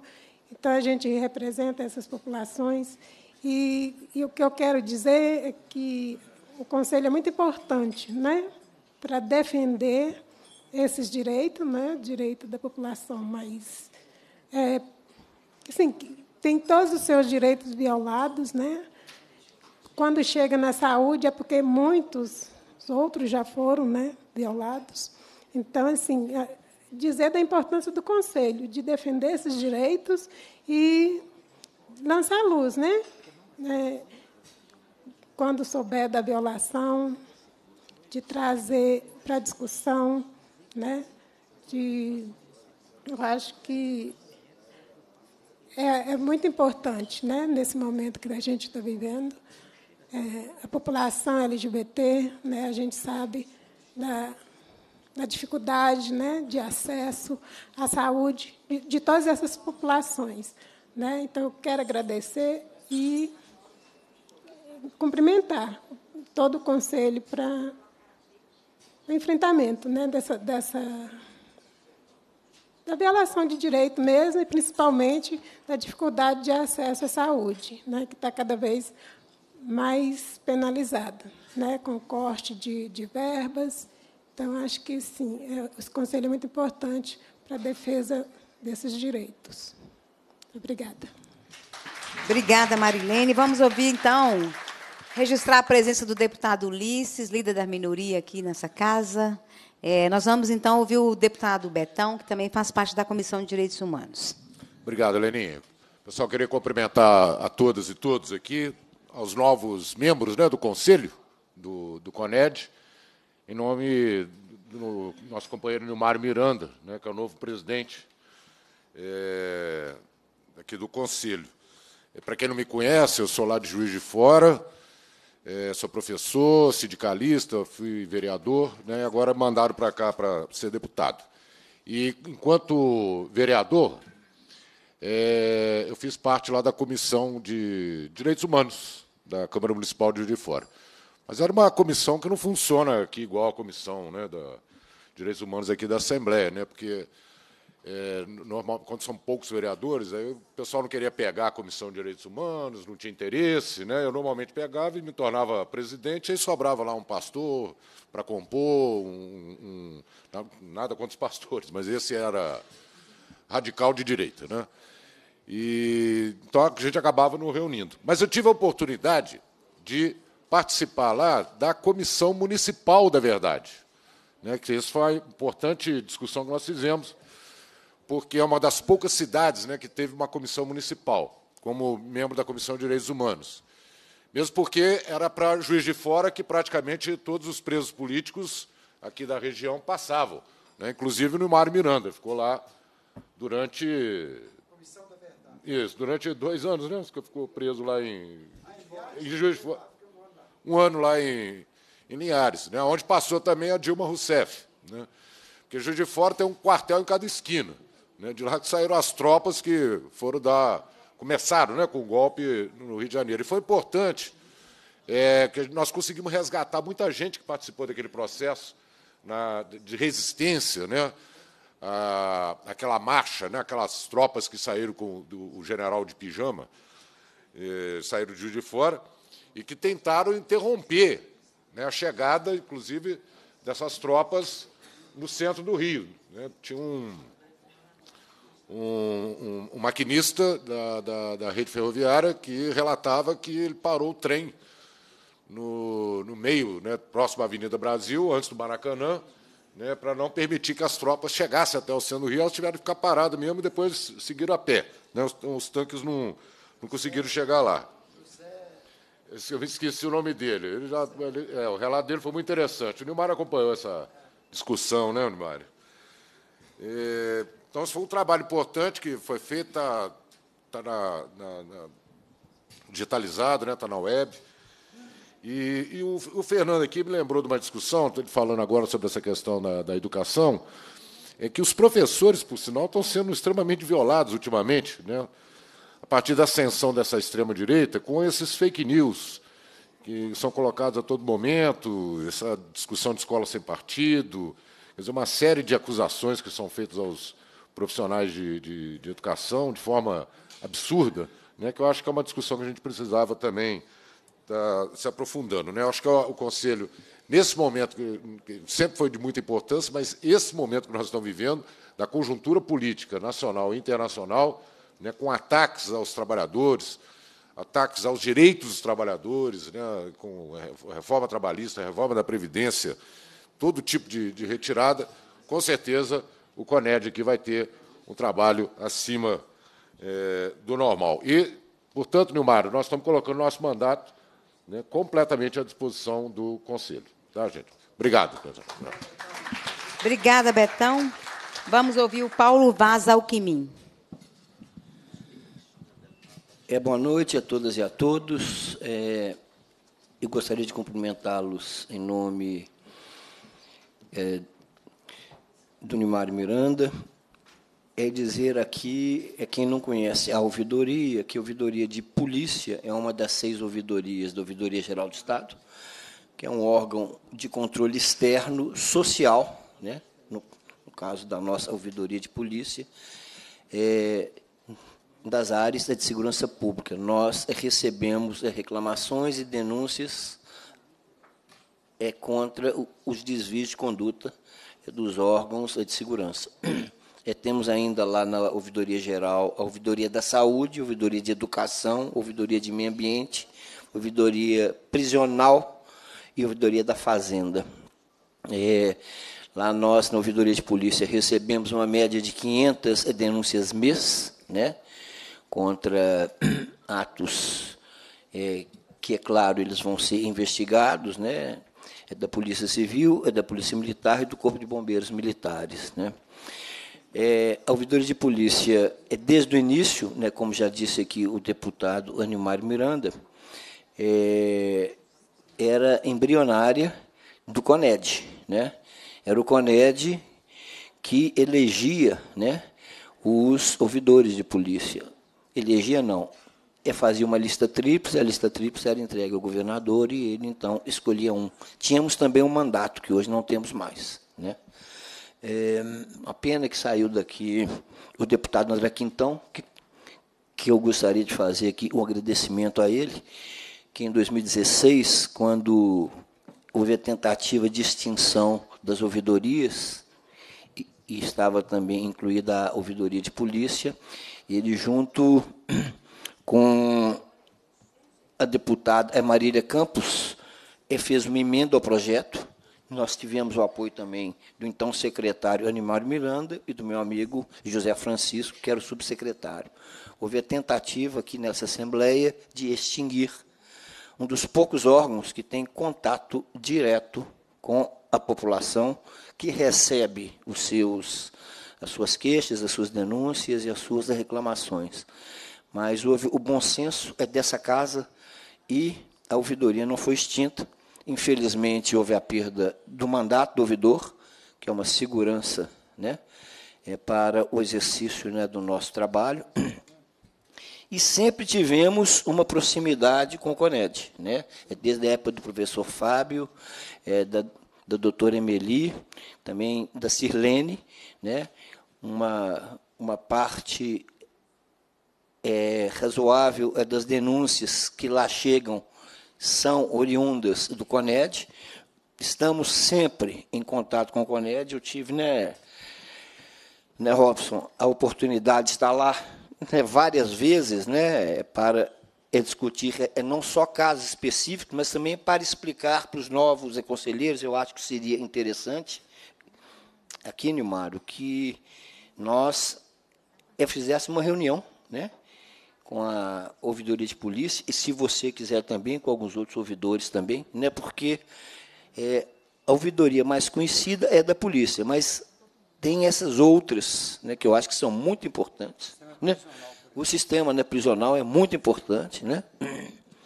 E, e temos é, esse contato próximo, né? Então, é, eu também fiquei muito satisfeito e muito tranquilo né, em saber que estão na presidência o Nilmar e o Robson, né, que são pessoas que é, dispensam qualquer recomendário. Né, o Nilmário é um especialista em comissões, né, ele presidiu a Comissão de Direitos Humanos é, da Câmara Federal, né, é um lutador é, pelos é, direitos humanos, foi, é ministro né, Direitos Humanos, né, foi secretário de Direitos Humanos. Né, isso nos dá uma tranquilidade, viu, Nilmário?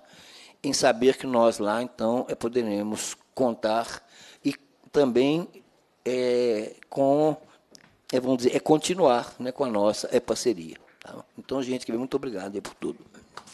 Obrigada ao Paulo. Vamos ouvir Saulo de Freitas Lopes.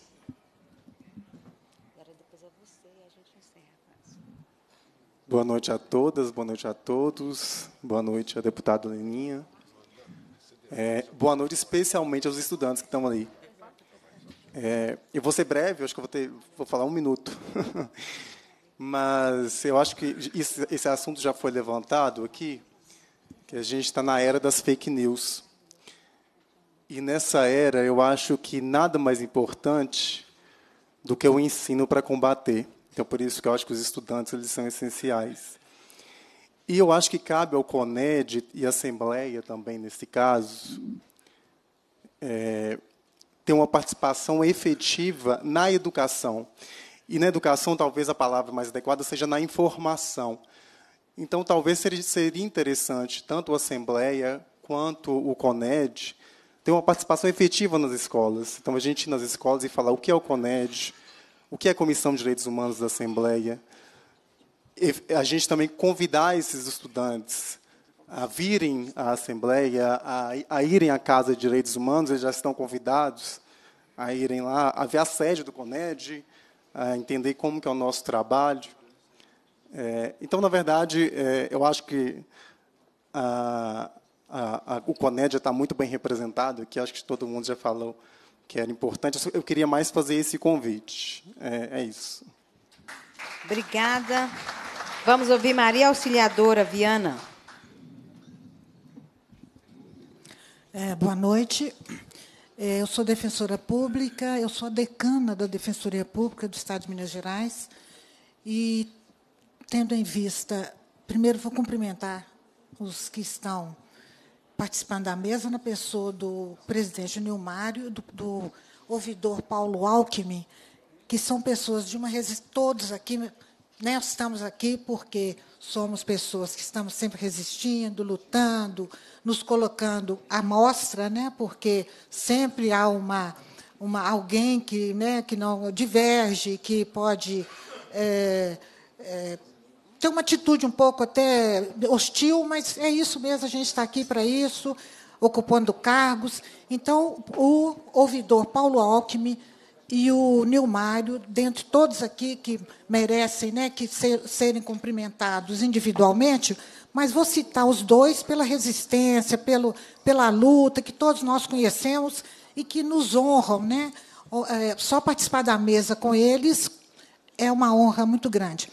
Então, é, respondendo ao. Lembrando, respondendo não, lembrando o professor Fernando Jaime, preocupado com o índice de suicídios entre os menores infratores, é, o meu trabalho é focado na Defensoria Pública de Direitos Humanos, meu trabalho é focado é, para o sistema prisional.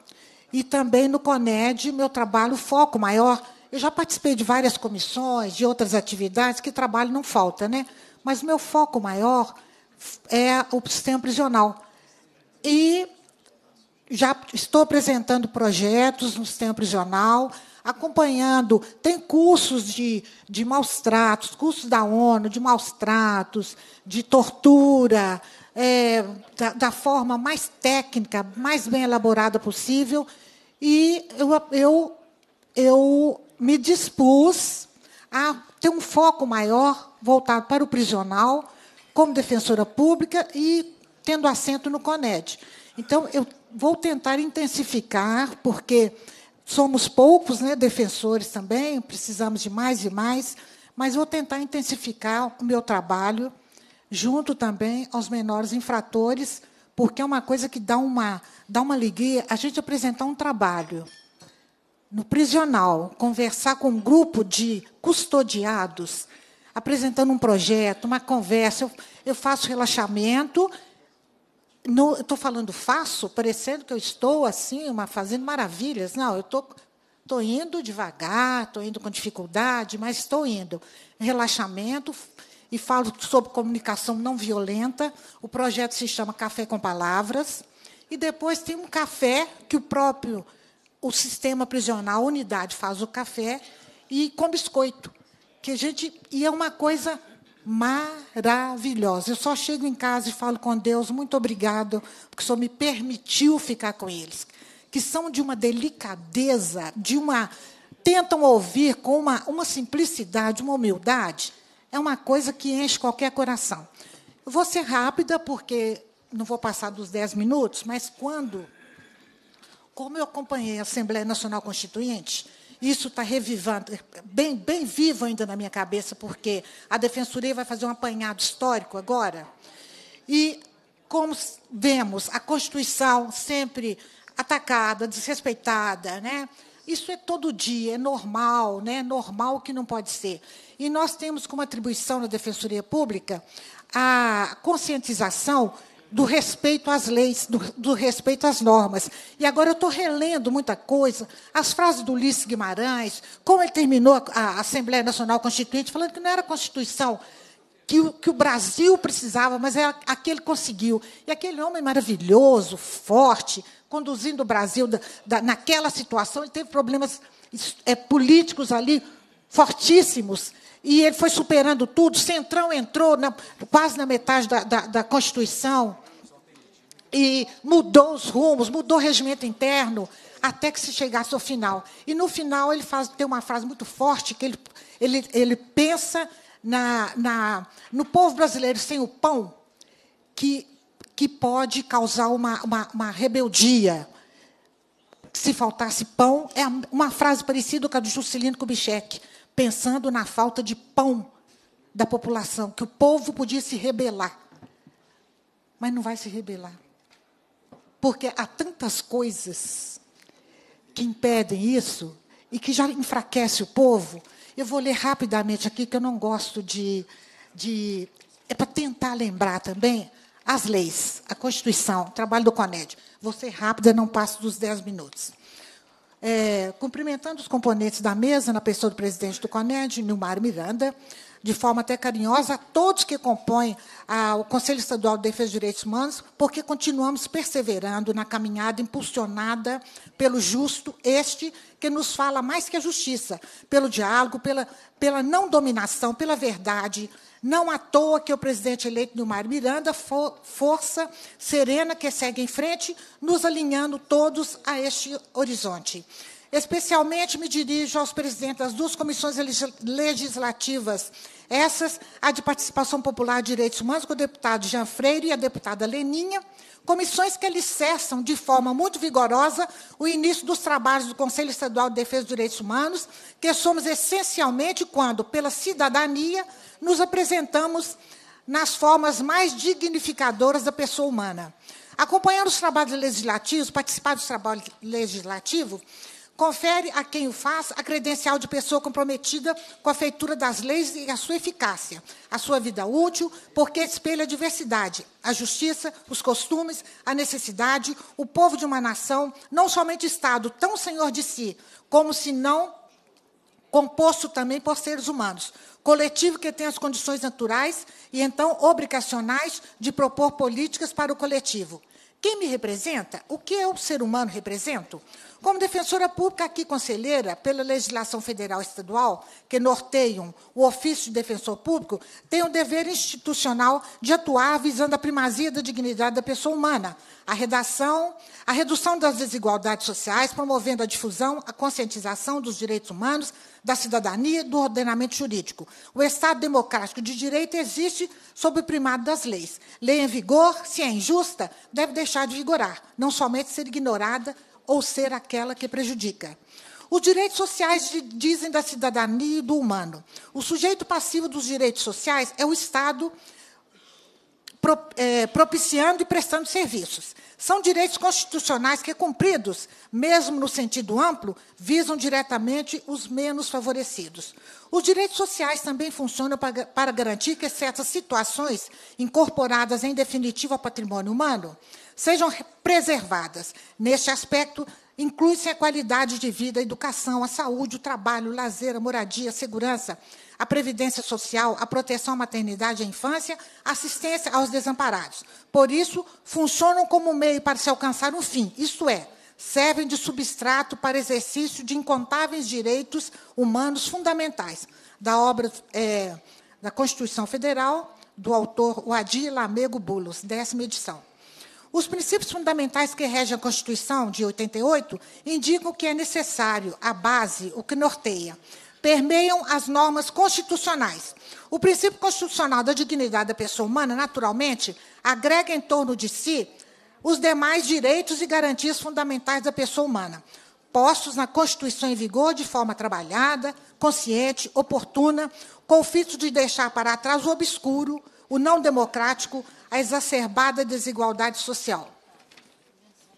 O Conselho Estadual de Defesa dos Direitos Humanos tem a obrigação legal de buscar de forma incansável o cumprimento do que pede a sociedade quanto ao que seja digno à humanidade. São várias as comissões internas específicas à necessidade humana, mas essa obrigação aos vocacionados se soma ao coração alegre, à alma solidária e à mente atenta. Assim, queremos prosseguir.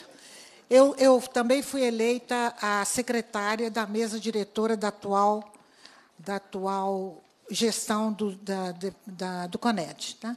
Então, termino aqui minha fala. E lembrando também que eu já tenho é, já um tempinho de CONED, já são sete, oito anos que eu estou trabalhando, é, é indicada pela Defensoria Pública para, para a, a cadeira de defensor público. Agradeço a todo mundo a atenção. Muito obrigada. A deputada Leninha teve que se retirar rapidamente, mas volta já já. Passo a fala para o deputado Ulisses. Presidente, deputado amigo, companheiro Jean Freire, companheiros e companheiras, uma breve saudação. Né? Você chega já no final, não, não, podemos demorar muito, né? mas sobre, não poderia deixar de de registrar aqui, Nilmar, minha enorme satisfação, primeiro em parabenizar todos os conselheiros né, pela, é, por esse momento e de forma muito especial na sua pessoa, né, essa importante participação sua assumindo a presidência. Nilmar me contava ali, além da, né, desse trabalho que ele assume, e eu tenho certeza com muito orgulho e com comprometimento, né, todo o trabalho de continuar né, nos lançamentos de livro, rodando o Estado, e é, é, e é um orgulho danado. Eu, é, filiado ao Partido dos Trabalhadores desde 98, é, nas participações sempre tive na sua pessoa uma grande referência como deputado federal, como militante da causa dos direitos humanos e grande, um grande companheiro de luta. Me recordo aqui, ainda na militância à frente do Conselho Municipal de, de, dos Direitos da Criança e Adolescente em Itajubá, e depois, durante sete anos, como presidente do, do da nosso, do CDDCAI, né, que é o Centro de Defesa dos Direitos da Criança e do Adolescente. Nós trabalhamos com adolescentes infratores e a sua parceria e a sua referência à frente do Ministério de Direitos Humanos ajudou a gente sustentar aquele trabalho todo. Né. Então, são, são lembranças que mostram do seu compromisso, da sua coerência é, durante as campanhas né, que Nilmário teve. É, eu me recordo muito da campanha sua de governador, no lançamento que nós fizemos junto, né, da, do programa de governo em Braille, né, do quanto aquilo foi significativo para a gente e, e, ainda fez esse lançamento lá no sul de Minas, lá em Itajubá. Então, acho que nós poderíamos aqui contar, cada um teria várias histórias dentro da sua referência, do seu trabalho, mas esse trabalho, particularmente dizendo, Nilmário, eu sou muito grato à sua referência, ao seu trabalho e queria, como neste momento, que o nosso mandato fizesse presente aqui também para afirmar esse compromisso na luta dos direitos humanos. O companheiro Saulo, que me antecedeu, falou da importância do Conselho, eu queria registrar isso, né, na educação, na divulgação, no enfrentamento e resistência desse momento histórico e desafiador de retrocessos que a gente está vivendo. Então, marcar, é, registrar reorganizar, reforçar cada vez mais é fundamental em todas as bandeiras e lutas de direitos humanos que a gente tem. Né? Então, e o Conselho agregar tudo isso. Nós estamos aqui na Assembleia, neste momento desafiador, e reiniciando um trabalho de mobilização com a juventude que clama por vários direitos né, que são retirados, que nós estamos retrocedendo. E o Conselho, eu acho que ele vai agregar tudo isso em todos os aspectos né, que nós estamos vivendo nesse momento. Então, eu não poderia deixar de vir aqui registrar o nosso compromisso, a nossa história conjunta né, e a alegria de ver sempre você é, revitalizando os nossos sonhos, né, mostrando caminhos, e é uma alegria muito grande compartilhar desse momento. Parabéns ao Conselho, tenha nosso trabalho, é, a certeza de estarmos juntos na mesma luta. Obrigado, Ulisses. Agora vamos passar as falas para as pessoas inscritas, é José Francisco. A próxima pessoa, Maurício Vieira.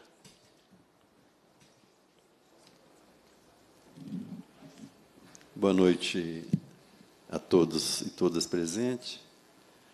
Particularmente cumprimentar a mesa, a iniciativa dessa Comissão de Direitos Humanos da Assembleia Legislativa, na pessoa do presidente, e lembrar a presidente ausente nesse instante, é muito feliz a escolha.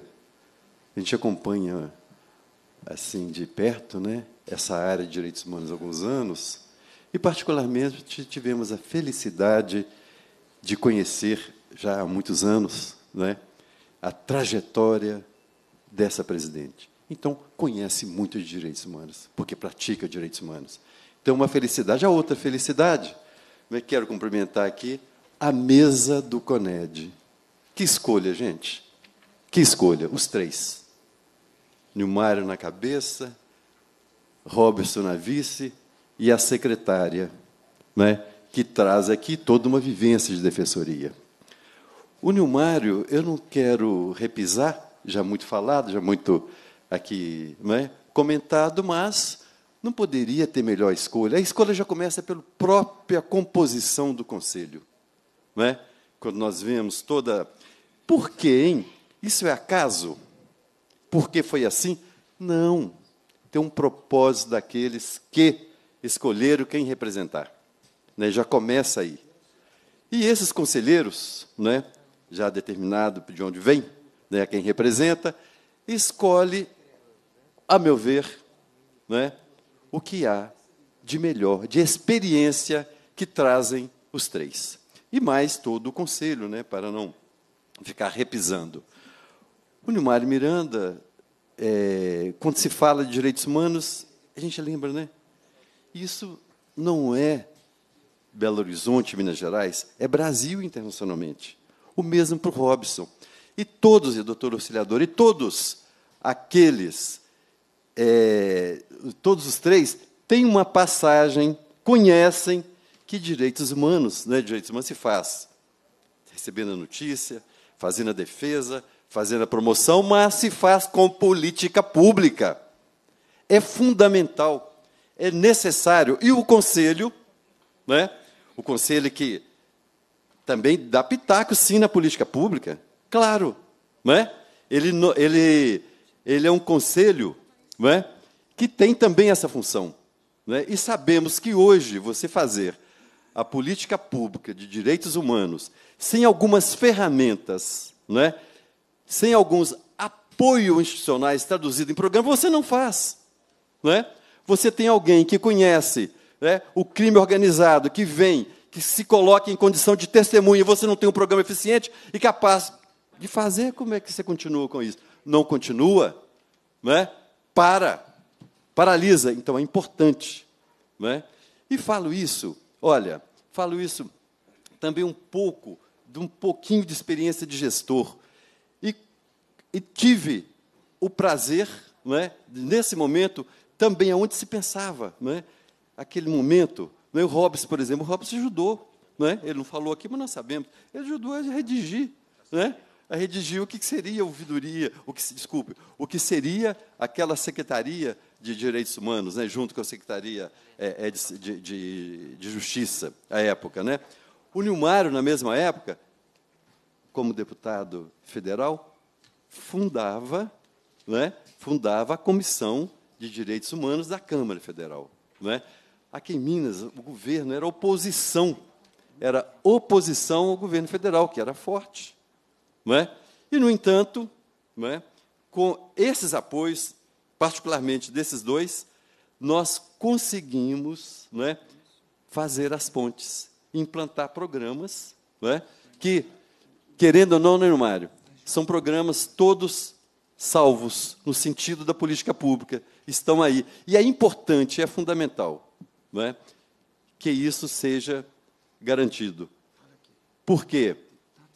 Para você receber, quando recebe né, uma denúncia, ela tem um propósito, tem um, um retorno àquele que trouxe a denúncia, né?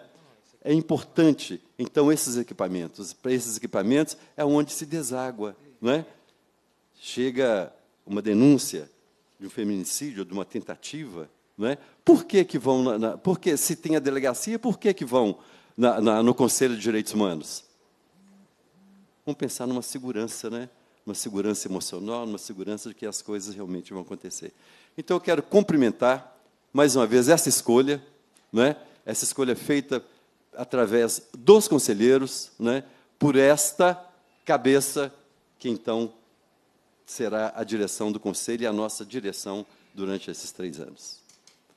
Felicidade para vocês. Obrigado, José Francisco. Nós temos ainda quatro inscrições, né? Quatro, ele é o quinto. Quatro, quatro inscrições. O doutor Jean teve que sair um, um minutinho para atender ali a, Len, a deputada Leninha, que não está passando bem, mas já retornam em seguida. Então, nós vamos dar sequência, convidar Maurício Vieira para fazer uso da palavra. É, boa noite a todos e todas. Meu nome é Maurício, sou conselheiro do CONED, é, pelo Sindifs, vim pela sociedade civil, na vaga do Sindifs, suplente da Cristina Del Papa, que está aqui presente. É, gostaria de cumprimentar toda a mesa. E eu vou até fazer uma brincadeira, que eu tive boa parte da minha fala sequestrada pelo professor Fernando e pelo Betão, porque eu ia falar justamente de educação e mundo do trabalho. Mas, prosseguindo, é, a gente é fundamental é, a atuação desse conselho nesse momento que a gente vive um avanço do que eu estava até comentando aqui com o meu eterno professor Ari, da substituição do Estado democrático de direito pelo Estado teocrático da direita.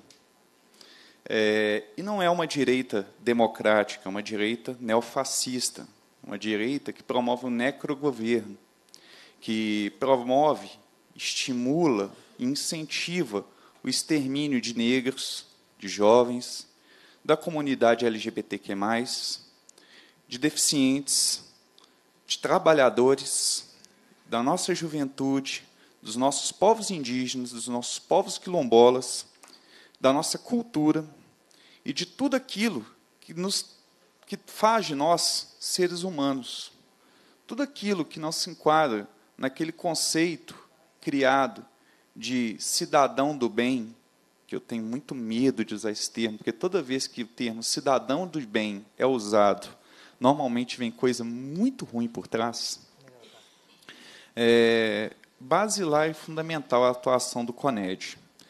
Eu gostaria aqui de trazer, enquanto representante do mundo do trabalho, é, algumas e representante da educação, sou servidor do Cefet há 12 anos, é, Sindifes também representa o Cefet Minas, que já foi colocado que é a questão do, da reforma trabalhista que vem destruir com as relações de trabalho e emprego que existem no Brasil e substituir por uma venda da mão de obra extremamente precarizada e extremamente explorada do ponto de vista do capital. É, e a reforma previdenciária, que vem acabar com qualquer esperança do brasileiro de um dia poder ter uma seguridade social, justamente no momento da vida da pessoa onde ela mais necessita de uma segurança, que é na velhice ou na doença. É, outra questão que foi colocada aqui em passant, que eu gostaria de lembrar, é, semana passada a gente teve um enfrentamento muito grande na é, Câmara dos Vereadores aqui de Belo Horizonte por causa do projeto Escola Sem Partido, que é a escola sem partido de esquerda, porque o partido de direita está lá dentro, atuando de forma massiva, seja através da, do pastor, seja através do, do é, da cultura militar, porque uma das coisas que querem transformar nossas escolas, principalmente nossas escolas de excelência, como o Cefet, é em escolas militares. É, e. Nossa, me perdi um pouco na fala, desculpa, gente.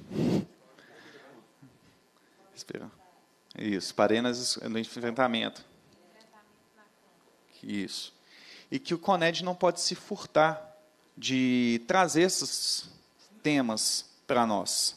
Voltando um pouco ao mundo do trabalho, a gente tem hoje um governo do Estado que deliberadamente atrasa salários dos servidores é, em nome de uma suposta falta de verbas. Porém, os salários dos altos cargos do executivo, do judiciário e do legislativo, apesar de eu estar na casa do legislativo, desculpa, vou ter que pôr o dedo na ferida, continuam sendo pagos com religio, religiosamente. É, outra questão que eu gostaria de colocar, tentando finalizar aí antes dos cinco minutos, é, disciplina bolchevique aí, é, sobre a questão de ano passado a gente teve dentro da UFMG uma intervenção da Polícia Federal, no qual um reitor foi tirado de dentro de casa levado por condução coercitiva para prestar depoimento sobre uma acusação que nem ele mesmo sabia qual era. Esse ano, a gente teve da metade das eleições para reitorias de universidades federais no Brasil, ele é, foi nomeado um reitor que não foi o reitor eleito pela comunidade, inclusive aqui em Minas, na Federal do Vale de Jequitinhonha e Mucuri, onde um reitor que sequer deveria estar na lista tríplice foi nomeado como reitor. É, e apesar de não ser diretamente um tema da Comissão Estadual de Direitos Humanos, posto que estamos falando de universidades federais, eu acho que, acho não, tenho certeza que o CONED deveria sim é, se atentar e se debruçar sobre essas questões, que são questões que aos poucos vão minando o pouco que ainda nos resta de democracia nesse Estado teocrático da direita. Obrigado. Muito obrigado, Maurício. Maurício disse que não ia ultrapassar os cinco minutos dele, não. Chegou quase às seis, mas são três, viu? mas sem problema, aqui nós não somos rígidos assim, não. Passa a fala agora a Guilherme Portugal. Boa noite. Ah, a todas as pessoas presentes. Gostaria de cumprimentar os membros da mesa na pessoa do presidente, da presidente Leninha, que porventura não se encontra aqui. Sou feliz suplente de uma mulher na, no CONED, a titular Valdênia Geralda não pôde comparecer e aqui me enviou. E eu quero trazer rapidamente uma mensagem da necessidade de um conselho como esse em um país que se estrutura e parece agora resgatar um projeto de nação no qual a desigualdade faz parte justamente é, é, de toda a, a, estrutura política. A gente fica, fica claro nos últimos anos que um projeto escravista está de volta.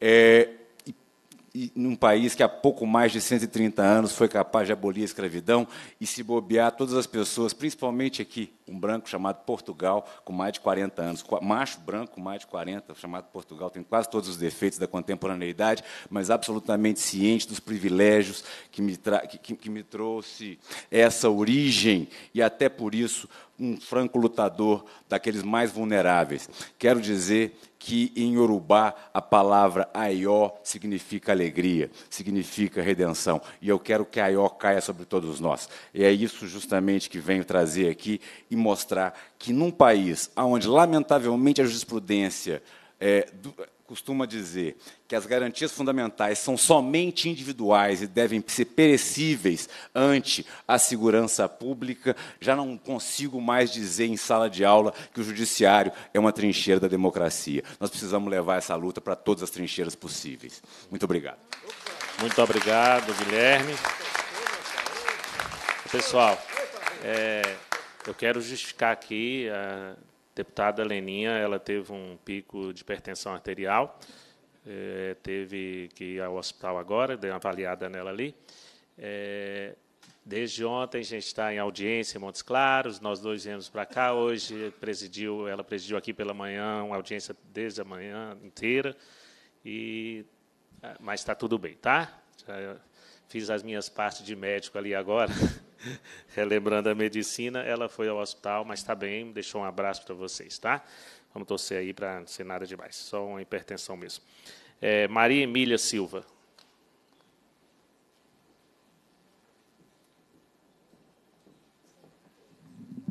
Boa noite a todas e a todos. Cumprimento Nilmário, Robson Sávio e toda a mesa aí na pessoa das mulheres presentes aí nessa, nessa composição, é, de um valor muito grande nessa composição aí com mulheres. O que me traz nessa fala aqui é especificamente, é, e que já está retratado nessa mesa aí, membros do Conselho do Programa de Proteção a Defensores de Direitos Humanos e que compõem esse grupo que aí está. É um grupo, eu represento aqui no Estado 71 defensores, incluídos alguns numa situação mais imediata de ameaça e alguns outros numa situação que já se encontra por hora pacificada, né, uma situação muito sazonal, ao mesmo tempo que eles estão ameaçados, a, a situação pode se normalizar. Mas hoje, especificamente, eu venho falar a respeito do pessoal que se encontra nas áreas de povos e comunidades tradicionais, mais especificamente na região de Montes Claros, onde está a comunidade de Vale das Cancelas. Quem não conhece o Nenzão, defensor de direitos humanos, ameaçado cotidianamente.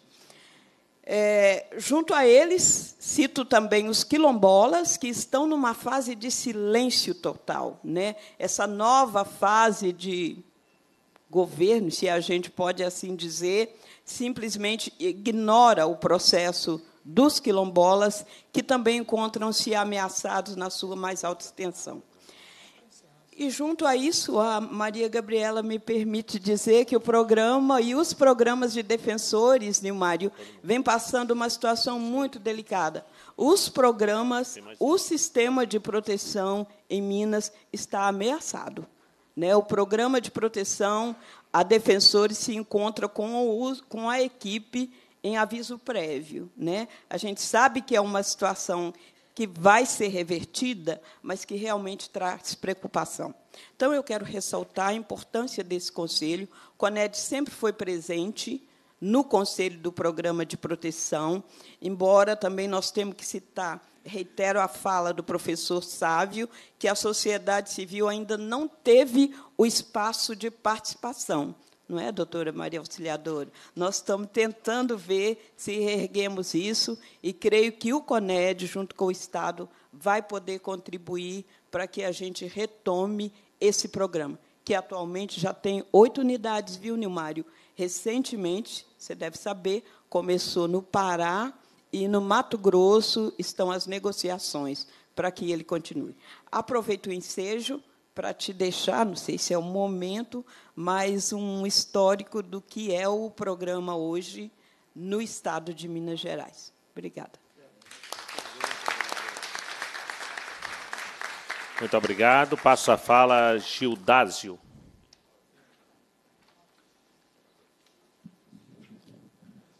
Bem, boa noite para todos e todas. Nós estamos aqui, o Everson Tardelli e eu, como representantes da Comissão da Verdade dos Trabalhadores do Movimento Sindical, pela primeira vez participando do Conselho, e destacando, primeiro, o orgulho nosso de estar nesse Conselho, com a história que esse Conselho, especialmente o Conselho de Minas, tem. Em segundo lugar, tentarmos colocar aqui, colocar aqui o nosso objetivo de dar, continuar a dar para a questão de direitos humanos a sua visão mais ampla, que está expressa, inclusive, na Declaração Universal dos Direitos Humanos, que não é apenas a liberdade política, é a liberdade política e é a vida em condições de decência, em condições humanas. É a justiça social. Porque nós vivemos num país, como foi dito aqui, tem 400 anos de escravidão e cento e poucos anos, 130 anos, duas gerações de final da escravidão. É bom lembrarmos que ainda no século XX, a famosa reforma, é, revolta da esquadra foi porque ainda havia açoite, castigo físico. Há pouco tempo eu fui fazer uma palestra na PUC e estudantes de direito, era PUC Barreiro, e levaram o maior susto quando abordando a questão da escravidão. E falei para eles fazerem uma visita ali em Belo Vale, no Museu da Escravidão, para ver os instrumentos de tortura que estavam lá. Quer dizer que é uma sociedade que, há menos de duas gerações, acabou com a escravidão, mas sem nenhuma política de inclusão social, de compensação. É bom lembrar, lembrar que praticamente os primeiros direitos trabalhistas no Brasil eu coloco como ponto, assim, como marco, a revolução, a, a greve geral de 17, em São Paulo, que estendia o Rio, etc. E nós tivemos um presidente da República, Washington Luiz, que dizia que esse negócio social era questão de polícia. Quer dizer que então nós temos uma sociedade que tem tradição o seguinte: pobre, preto, trabalhador reivindicando salário, pau neles. E eu queria só citar aqui, sendo curto aí, eu fui preso político, tive aqui em Neves, ali no, no Zé Maria Alquimim, além de DOPs, de 12RI, de DI, etc. Mas estive preso em Bangu e tive preso lá em São Paulo e depois em Bangu, no Esmeraldino Bandeira, São Paulo, na casa de detenção, em outros presídios lá. E um fato interessante era o seguinte: um dos meus advogados foi o grande jurista brasileiro, doutor Heleno Fragoso. E ele, lá em Bangu, ele brincava e dizia o seguinte: sabe de uma coisa? O único momento que cadeia no Brasil se democratiza é nas ditaduras porque dos 17 pavilhões de Bangu, tinha um de presos políticos. Eram 70 e tantos presos políticos lá. E ele dizia o seguinte: é o único pavilhão onde tem branco, com curso universitário, estudantes universitários e com sobrenome estrangeiro. Porque o resto todo, lá em Bangu, os outros 16 pavilhões, era se, se explicasse para alguém, para um marciano chegando na Terra, que o Ocidente é branco, a África é preto, a Ásia é amarelo, e ele caísse, o disco voador descesse em Bangu, ele dizia o seguinte: Eu estou na África. Então, pessoal, é nas poucas reuniões que a gente participou do Conselho de Direitos Humanos, toda hora está lá a questão do sistema prisional. E eu queria, só para encerrar, eu acho que na, na, nessa luta que a gente tem que travar hoje, porque nós estamos vendo um Chile em chamas, se estão querendo criar uma sociedade. Quem pegou o jornal O Tempo dessa semana passada, colocando o recorde de desigualdade social.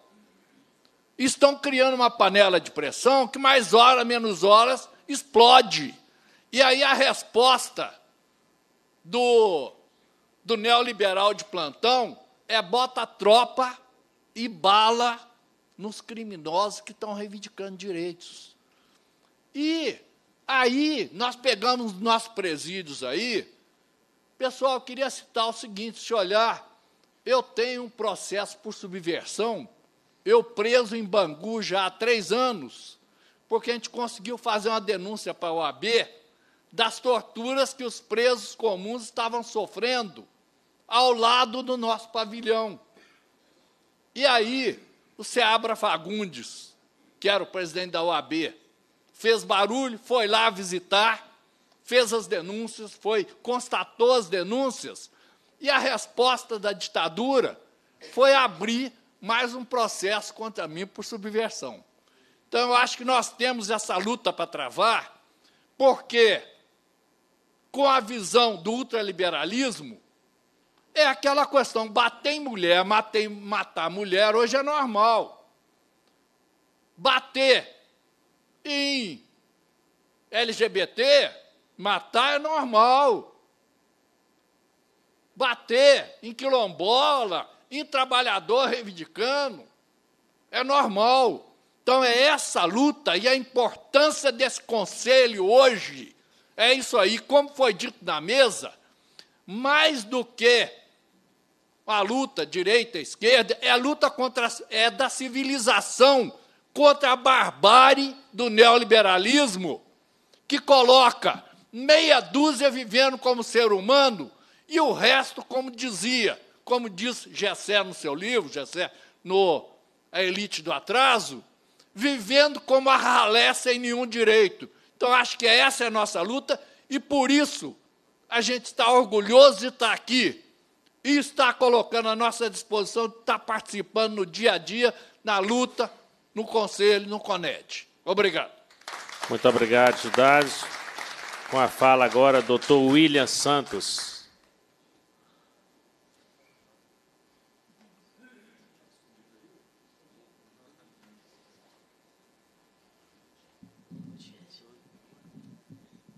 É, primeiro, boa noite a todos e a todas. Deputado Jean Freire, deputado Ulisses, cumprimentar a todos. Aproveitar o nosso colega Jaime também, que está saindo. Foi contemporâneo na UFMG, onde nós estudamos junto, e foi diretor também da faculdade. Então, eu cumprimento também o doutor Paulo, a nossa defensora pública predileta, e do coração há tempos, os companheiros da mesa. E eu vim aqui, e não podia deixar de vir, para fazer um cumprimento especial com relação a todos os conselheiros do CONED. E venho aqui também, mais que isso, e pela longa trajetória que a gente tem junto, cumprimentá-los e também reconhecer da importância do CONED e parabenizar né, pela escolha do Conselho Estadual, que tem à frente, a partir de hoje, o nosso amigo e companheiro sempre e de luta, Nilmar Miranda. Eu falo isso com toda tranquilidade, de quem milita, como muitos, na questão dos direitos humanos no Estado e até no país, porque todo lugar que a gente vai, em qualquer lugar desse país, nós temos contatos e as pessoas conhecem Nilmário. Então, Nilmar é uma pessoa que tem história. Né? Isso para nós é importante. E aqui de Minas.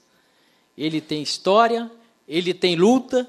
Foi o criador, como foi falado aqui pelo Zé Francisco, da Comissão de Direitos Humanos em nível nacional, na Câmara Federal, que perdura até hoje. Eu acho que isso é muito importante. Né? Eu acho que mais ainda, Nilmário, é a representação que se dá no CONED, e eu tinha até que registrar aqui que todos os ex-presidentes do CONED, nós militamos junto em direitos humanos, né, junto principalmente na Comissão Pastoral de Direitos Humanos da Arquidiocese de Belo Horizonte, e onde, inclusive, à época, o nosso primeiro ouvidor de polícia foi o Dr. José Francisco. Eu lembro muito bem que é Programa de Proteção de Vítima Testemunha, o Provita, que nasceu, inclusive, por inspiração por batalha do Zé Francisco aqui do lado. Né? E reconhecer, inclusive, o papel importante da ouvidoria, através do doutor Paulo, que eu sempre amolo de noite, de madrugada e toda hora. Né? Eu acho que não tem jeito. Já mandei para ele hoje uma questão que aconteceu na cidade de Planura, no Triângulo Mineiro. Para mim é muito sério o que aconteceu lá. Não é a primeira vez, o doutor Paulo sabe muito bem disso. No sábado, último dia 19, no sábado, um jovem foi, levou dois tiros da polícia, de um policial militar. Eu falo o nome dele aqui, se chama Mário Sérgio. Já tem um bom conhecimento, que ele já passou pela ouvidoria de polícia. E eu acho que esse caso merece o afastamento preliminar desse militar. E ontem eu falava com o Nilmário, e eu acho que a primeira demanda que nós já vamos mandar, e estão trazendo aqui esse caso de planura, que inclusive o Gildade está assessorando a Comissão de Direitos Humanos, parece que tentou colocar em pauta, mas acho que vai ficar muito longe, um debate para fazer, Jean, com relação à questão da situação da violência em planura. Nós temos aqui muitos registros de ontem, de hoje, inclusive postamos esse material que está no Facebook, e já está no Brasil todo. Né? É um negócio que nos preocupa, mas que ao mesmo tempo revela aquilo que acontece, que às vezes não chega nem aqui na cidade e que fica lá pelo interior. Isso é para nós complicado. Né? E eu quero aqui, então, agradecer vocês né, e parabenizar essa comissão. E dizer mais, meus mais de oito anos de, como advogado da Comissão de Direitos Humanos da Pastoral da Arquidiocese de Belo Horizonte, e os meus mais de nove anos à frente da Comissão de Direitos Humanos da OAB no Estado, e na militância que a gente tem junto à RENAP, que é a Rede Nacional de Advogados Populares, em nome dos companheiros e companheiras que militaram e que militam nessas três entidades, eu quero aqui parabenizar você, Nilmário. Até porque você é a pessoa que conhece e ajudou, de certo, a formação da RENAP, nossa, em nível nacional. Então, obrigado a todos e a todas. Eu acho que parabéns uma salva de palmas para vocês. Muito obrigado, William. É, já caminhando para finalizar essa audiência, é, já já eu vou passar por Nilmário para ele encerrar. É, mas antes, Nilmário, eu tinha falado no início para você, falei com o Fernando também. É, tem a companheira ali de Taubim, né? Que bom ver ele, ele de Araçuaí, você de Taubim. Aliás, esse, esse evento está me dando muitos presentes, né? De ver ali o Padre Henrique, que teve que sair, também foi é, quem nos formou muito lá na Diocese de Araçuaí, ver meu amigo Eri, que eu não vejo há 30 anos. Né? Você não sai daqui sem deixar o telefone, não, viu? Você vê como a, as trincheiras de lutas nos une, né? nos faz é, encontrar um ao outro. Mas, Nilmar, eu tinha feito uma provocação a você e falei para o Fernando, e quero fazer essa provocação a todo o Conselho. É, eu tenho falado isso nos últimos dias muito aqui nessa casa, muito nessa casa. São tantas temáticas, tantas temáticas. Mas se nós, nesse momento, desse a fala ao rio Jequitinhonha, ele iria dizer que ele vai morrer. Que o maior afluente dele, o rio Araçuaí, vai morrer. Que o fanado, a pouco, vai demorar pouco, ele vai ser chamado de finado. Que ele que ajuda a fazer barro para fazer o artesanato, que ele que ajuda a moiar tantas plantações está sendo contaminado pelo agrotóxico do eucalipto. Então, eu quero pedir a vocês do Conselho um socorro junto conosco aqui. Eu, a deputada Leninha, temos travado essa, esse acesso à água. A água. A companheira aqui falou que se faltasse pão, né? Que se faltasse pão, o povo iria se rebelar. E não se rebela. E falta água e o povo não se rebela. O povo é muito pacífico. Né? E eu quero aqui, Nilmário, denunciar mais uma vez o que vem sofrendo o Nordeste de Minas Gerais, o Norte de Minas Gerais. E a gente ouviu aqui essa semana de secretários provocados por nós fazendo essa pergunta. Vai ser, mais uma vez, a região que menos vai investir. E você que conhece essa região, que é chamado historicamente de pobre, e eu digo que pobre é a cabeça de quem pensa que somos pobres. A região é rica. A maior monocultura de eucalipto da América Latina, que só serve para matar nossas nascentes, destruir nossas estradas e não dar emprego na região. A maior reserva de lítio do país, mais de 80% do lítio, só serve para ser explorado e levado para fora a maior represa em alteamento da América Latina. E nós não temos acesso à água.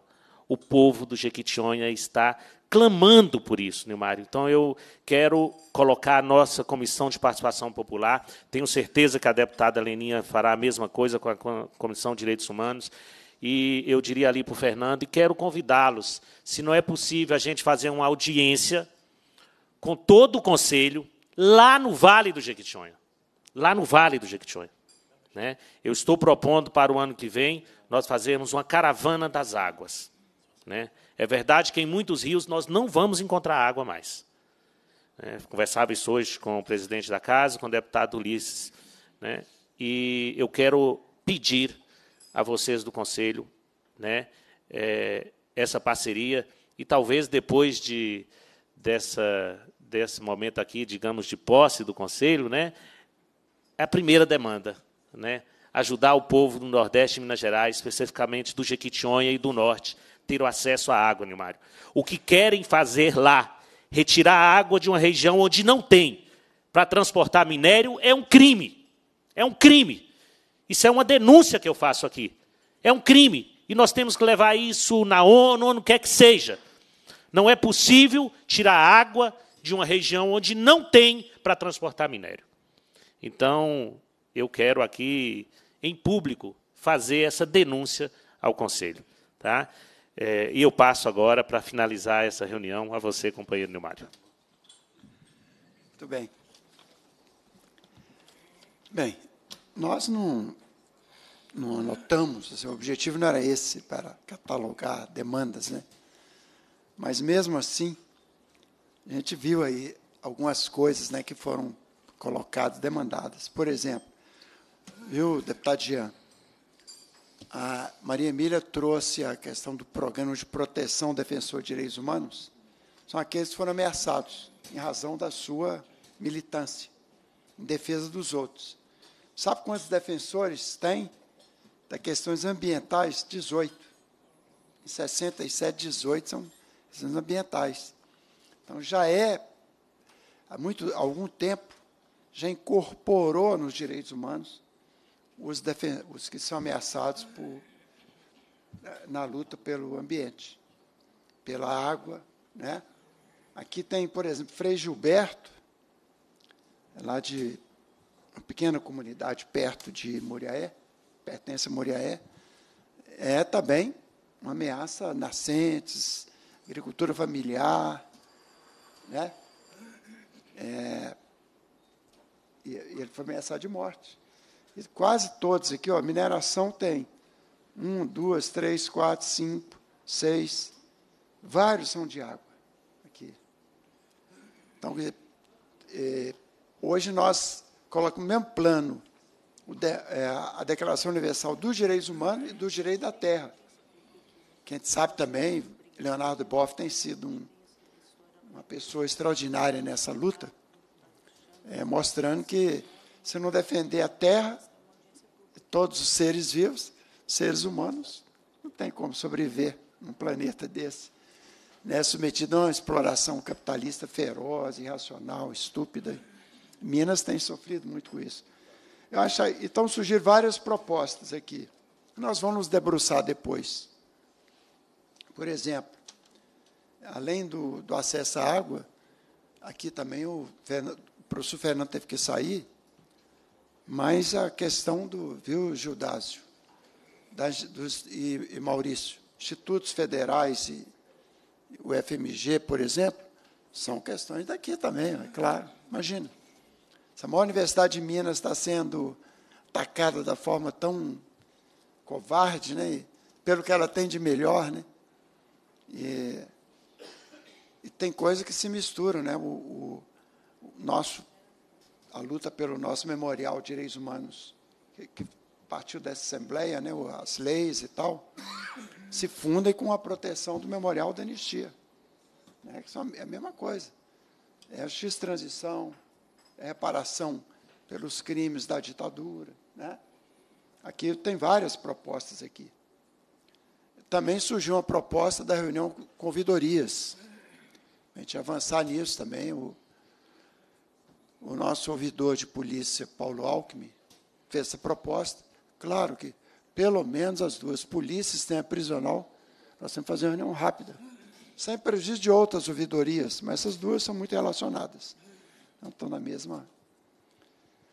Então, tem material para a gente ver muita, muita coisa. Essa também de fazer uma, uma audiência no Vale, eu acho ótimo.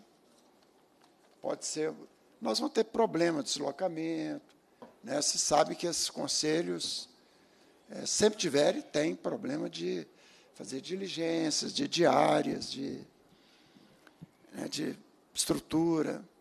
Né? Tem conselhos que não dão quórum porque não tem dinheiro para passar dos conselheiros vir do interior, conselhos fundamentais. Não o nosso. Porque o nosso, por um acaso, não tem conselheiro de interior. Mas quando recebe demandas do interior, tem problemas. Né, de, de ter garantia de que vai poder se deslocar e tudo. Mas nós vamos fazer de qualquer jeito. Uma das coisas que nós fizemos um acordo é que, se faltar o governo, nós temos Ministério Público, tem Defensoria Pública, tem Assembleia Legislativa, tem os nossos sindicatos e nossas entidades né, para dar suporte. Quando faltar o governo, é obrigação do governo. Se faltar, nós não podemos faltar. Então, nós vamos reivindicar do governo. E banque isso. Se não bancar, nós vamos por outros meios. O fato é que eu acho que não vai, nada vai ficar sem ser atendido. Ninguém vai sair daquele conselho sem seu problema seja encaminhado né, para, como eu disse, é, o que o governo fizer para manter políticas públicas fundamentais, nós vamos estar juntos. Nós vamos estar juntos com o governo, não interessa que partido que é, isso, isso não passa por aqui. Mas também vamos ser duros na cobrança quando houver violação de direitos humanos por parte de agentes públicos, seja quais forem também, né, porque a gente sabe que grande parte das violações parte do próprio Estado brasileiro, em todos os seus níveis. Né? Isso aí é papel desse conselho. O Conselho de Direitos Humanos não pode parar, não pode ter medo de cara feia, não pode ter medo de títulos, né? nem de dificuldades. É assim que nós vamos procurar fazer. E a gente procurou esse lugar aqui, que essa Assembleia aqui tem sido um parceiro extraordinário para nós. E muito que nós vamos fazer dependendo da Assembleia. Seja políticas públicas, seja no enfrentamento de violações, seja quais forem. Né? Então, acho que o objetivo inicial foi cumprido. Né? Nós temos, vamos discutir ainda, vamos, nossa, nosso conselho, tem subcomissões que nós vamos fazer funcionar. Nós queremos voluntariado lá, formar grupos de voluntários, grupos de trabalho em várias áreas, com os conselheiros e com os voluntários todo mundo lá é voluntário. Né? Já, alguém me mandou uma pergunta. Nilmar tá, vai participar de governo? Falei, não, o contrário. o contrário. É, nós é, para nós é, é bom isso, é ser voluntário, é não depender de governo, não depender de dinheiro, não depender de nada. Né? Se o governo cumprir sua parte, nós vamos fazer assim mesmo, né? do jeito que a gente der. Mas eu agradeço muito as duas comissões, Direitos Humanos e Participação Popular, por ter acolhido imediatamente, ter preparado isso aqui, por todos que vieram. Muita gente vai embora, é assim mesmo. Nosso povo sai correndo aqui, está acontecendo um monte de coisa hoje. Hoje tivemos aí a. Teve uma caminhada do Santo Agostinho até o Loyola. Né? Teve uma coisa lá na, no consulado do Chile, que o, o Chile somos nós amanhã, né? Que eles venderam como maravilha da reforma da Previdência, capitalização, não sei o quê. Nós estamos vendo o que, é que deu no Chile. Esse, esse pobre de espírito aí que se diz ministro da Educação, quer fazer educação privada aqui, olha o que aconteceu no Chile. Uma educação superior, né? o que eles glorificam como coisa, como modelo do Chile, está lá uma verdadeira sublevação popular. Né? Então, nós vamos trabalhar em todas as áreas, educação, meio ambiente, é, educação, como foi falado aqui, racismo, é, mulheres, agressão a mulheres de todo tipo, né? E defensores de direitos que são perseguidos em razão disso, nós vamos estar juntos. Está sempre aqui no, nos gabinetes de vocês que vieram aqui, dos que não puderam vir também. Porque muitos poderiam estar aqui e não vieram hoje. Então, agradecendo a todos, é, outra vez, viva a democracia, viva os direitos humanos. Obrigado, deputado Nilmário. O Nilmário falou do Frei Gilberto e só dizer, Nilmário, que amanhã ele estará presente aqui nessa comissão de direitos humanos com a, a audiência que irá acontecer para debater os impactos ambientais, sociais e econômicos decorrentes das atividades minerárias no entorno do Parque Estadual de Serra do Brigadeiro, a pedido da deputada Beatriz Cerqueira. É, cumprida a finalidade da reunião, a presidência agradece a presença dos parlamentares, dos convidados do público presente, convoca os membros para a próxima reunião ordinária, determina a lavratura da ata e encerra os trabalhos. Boa noite.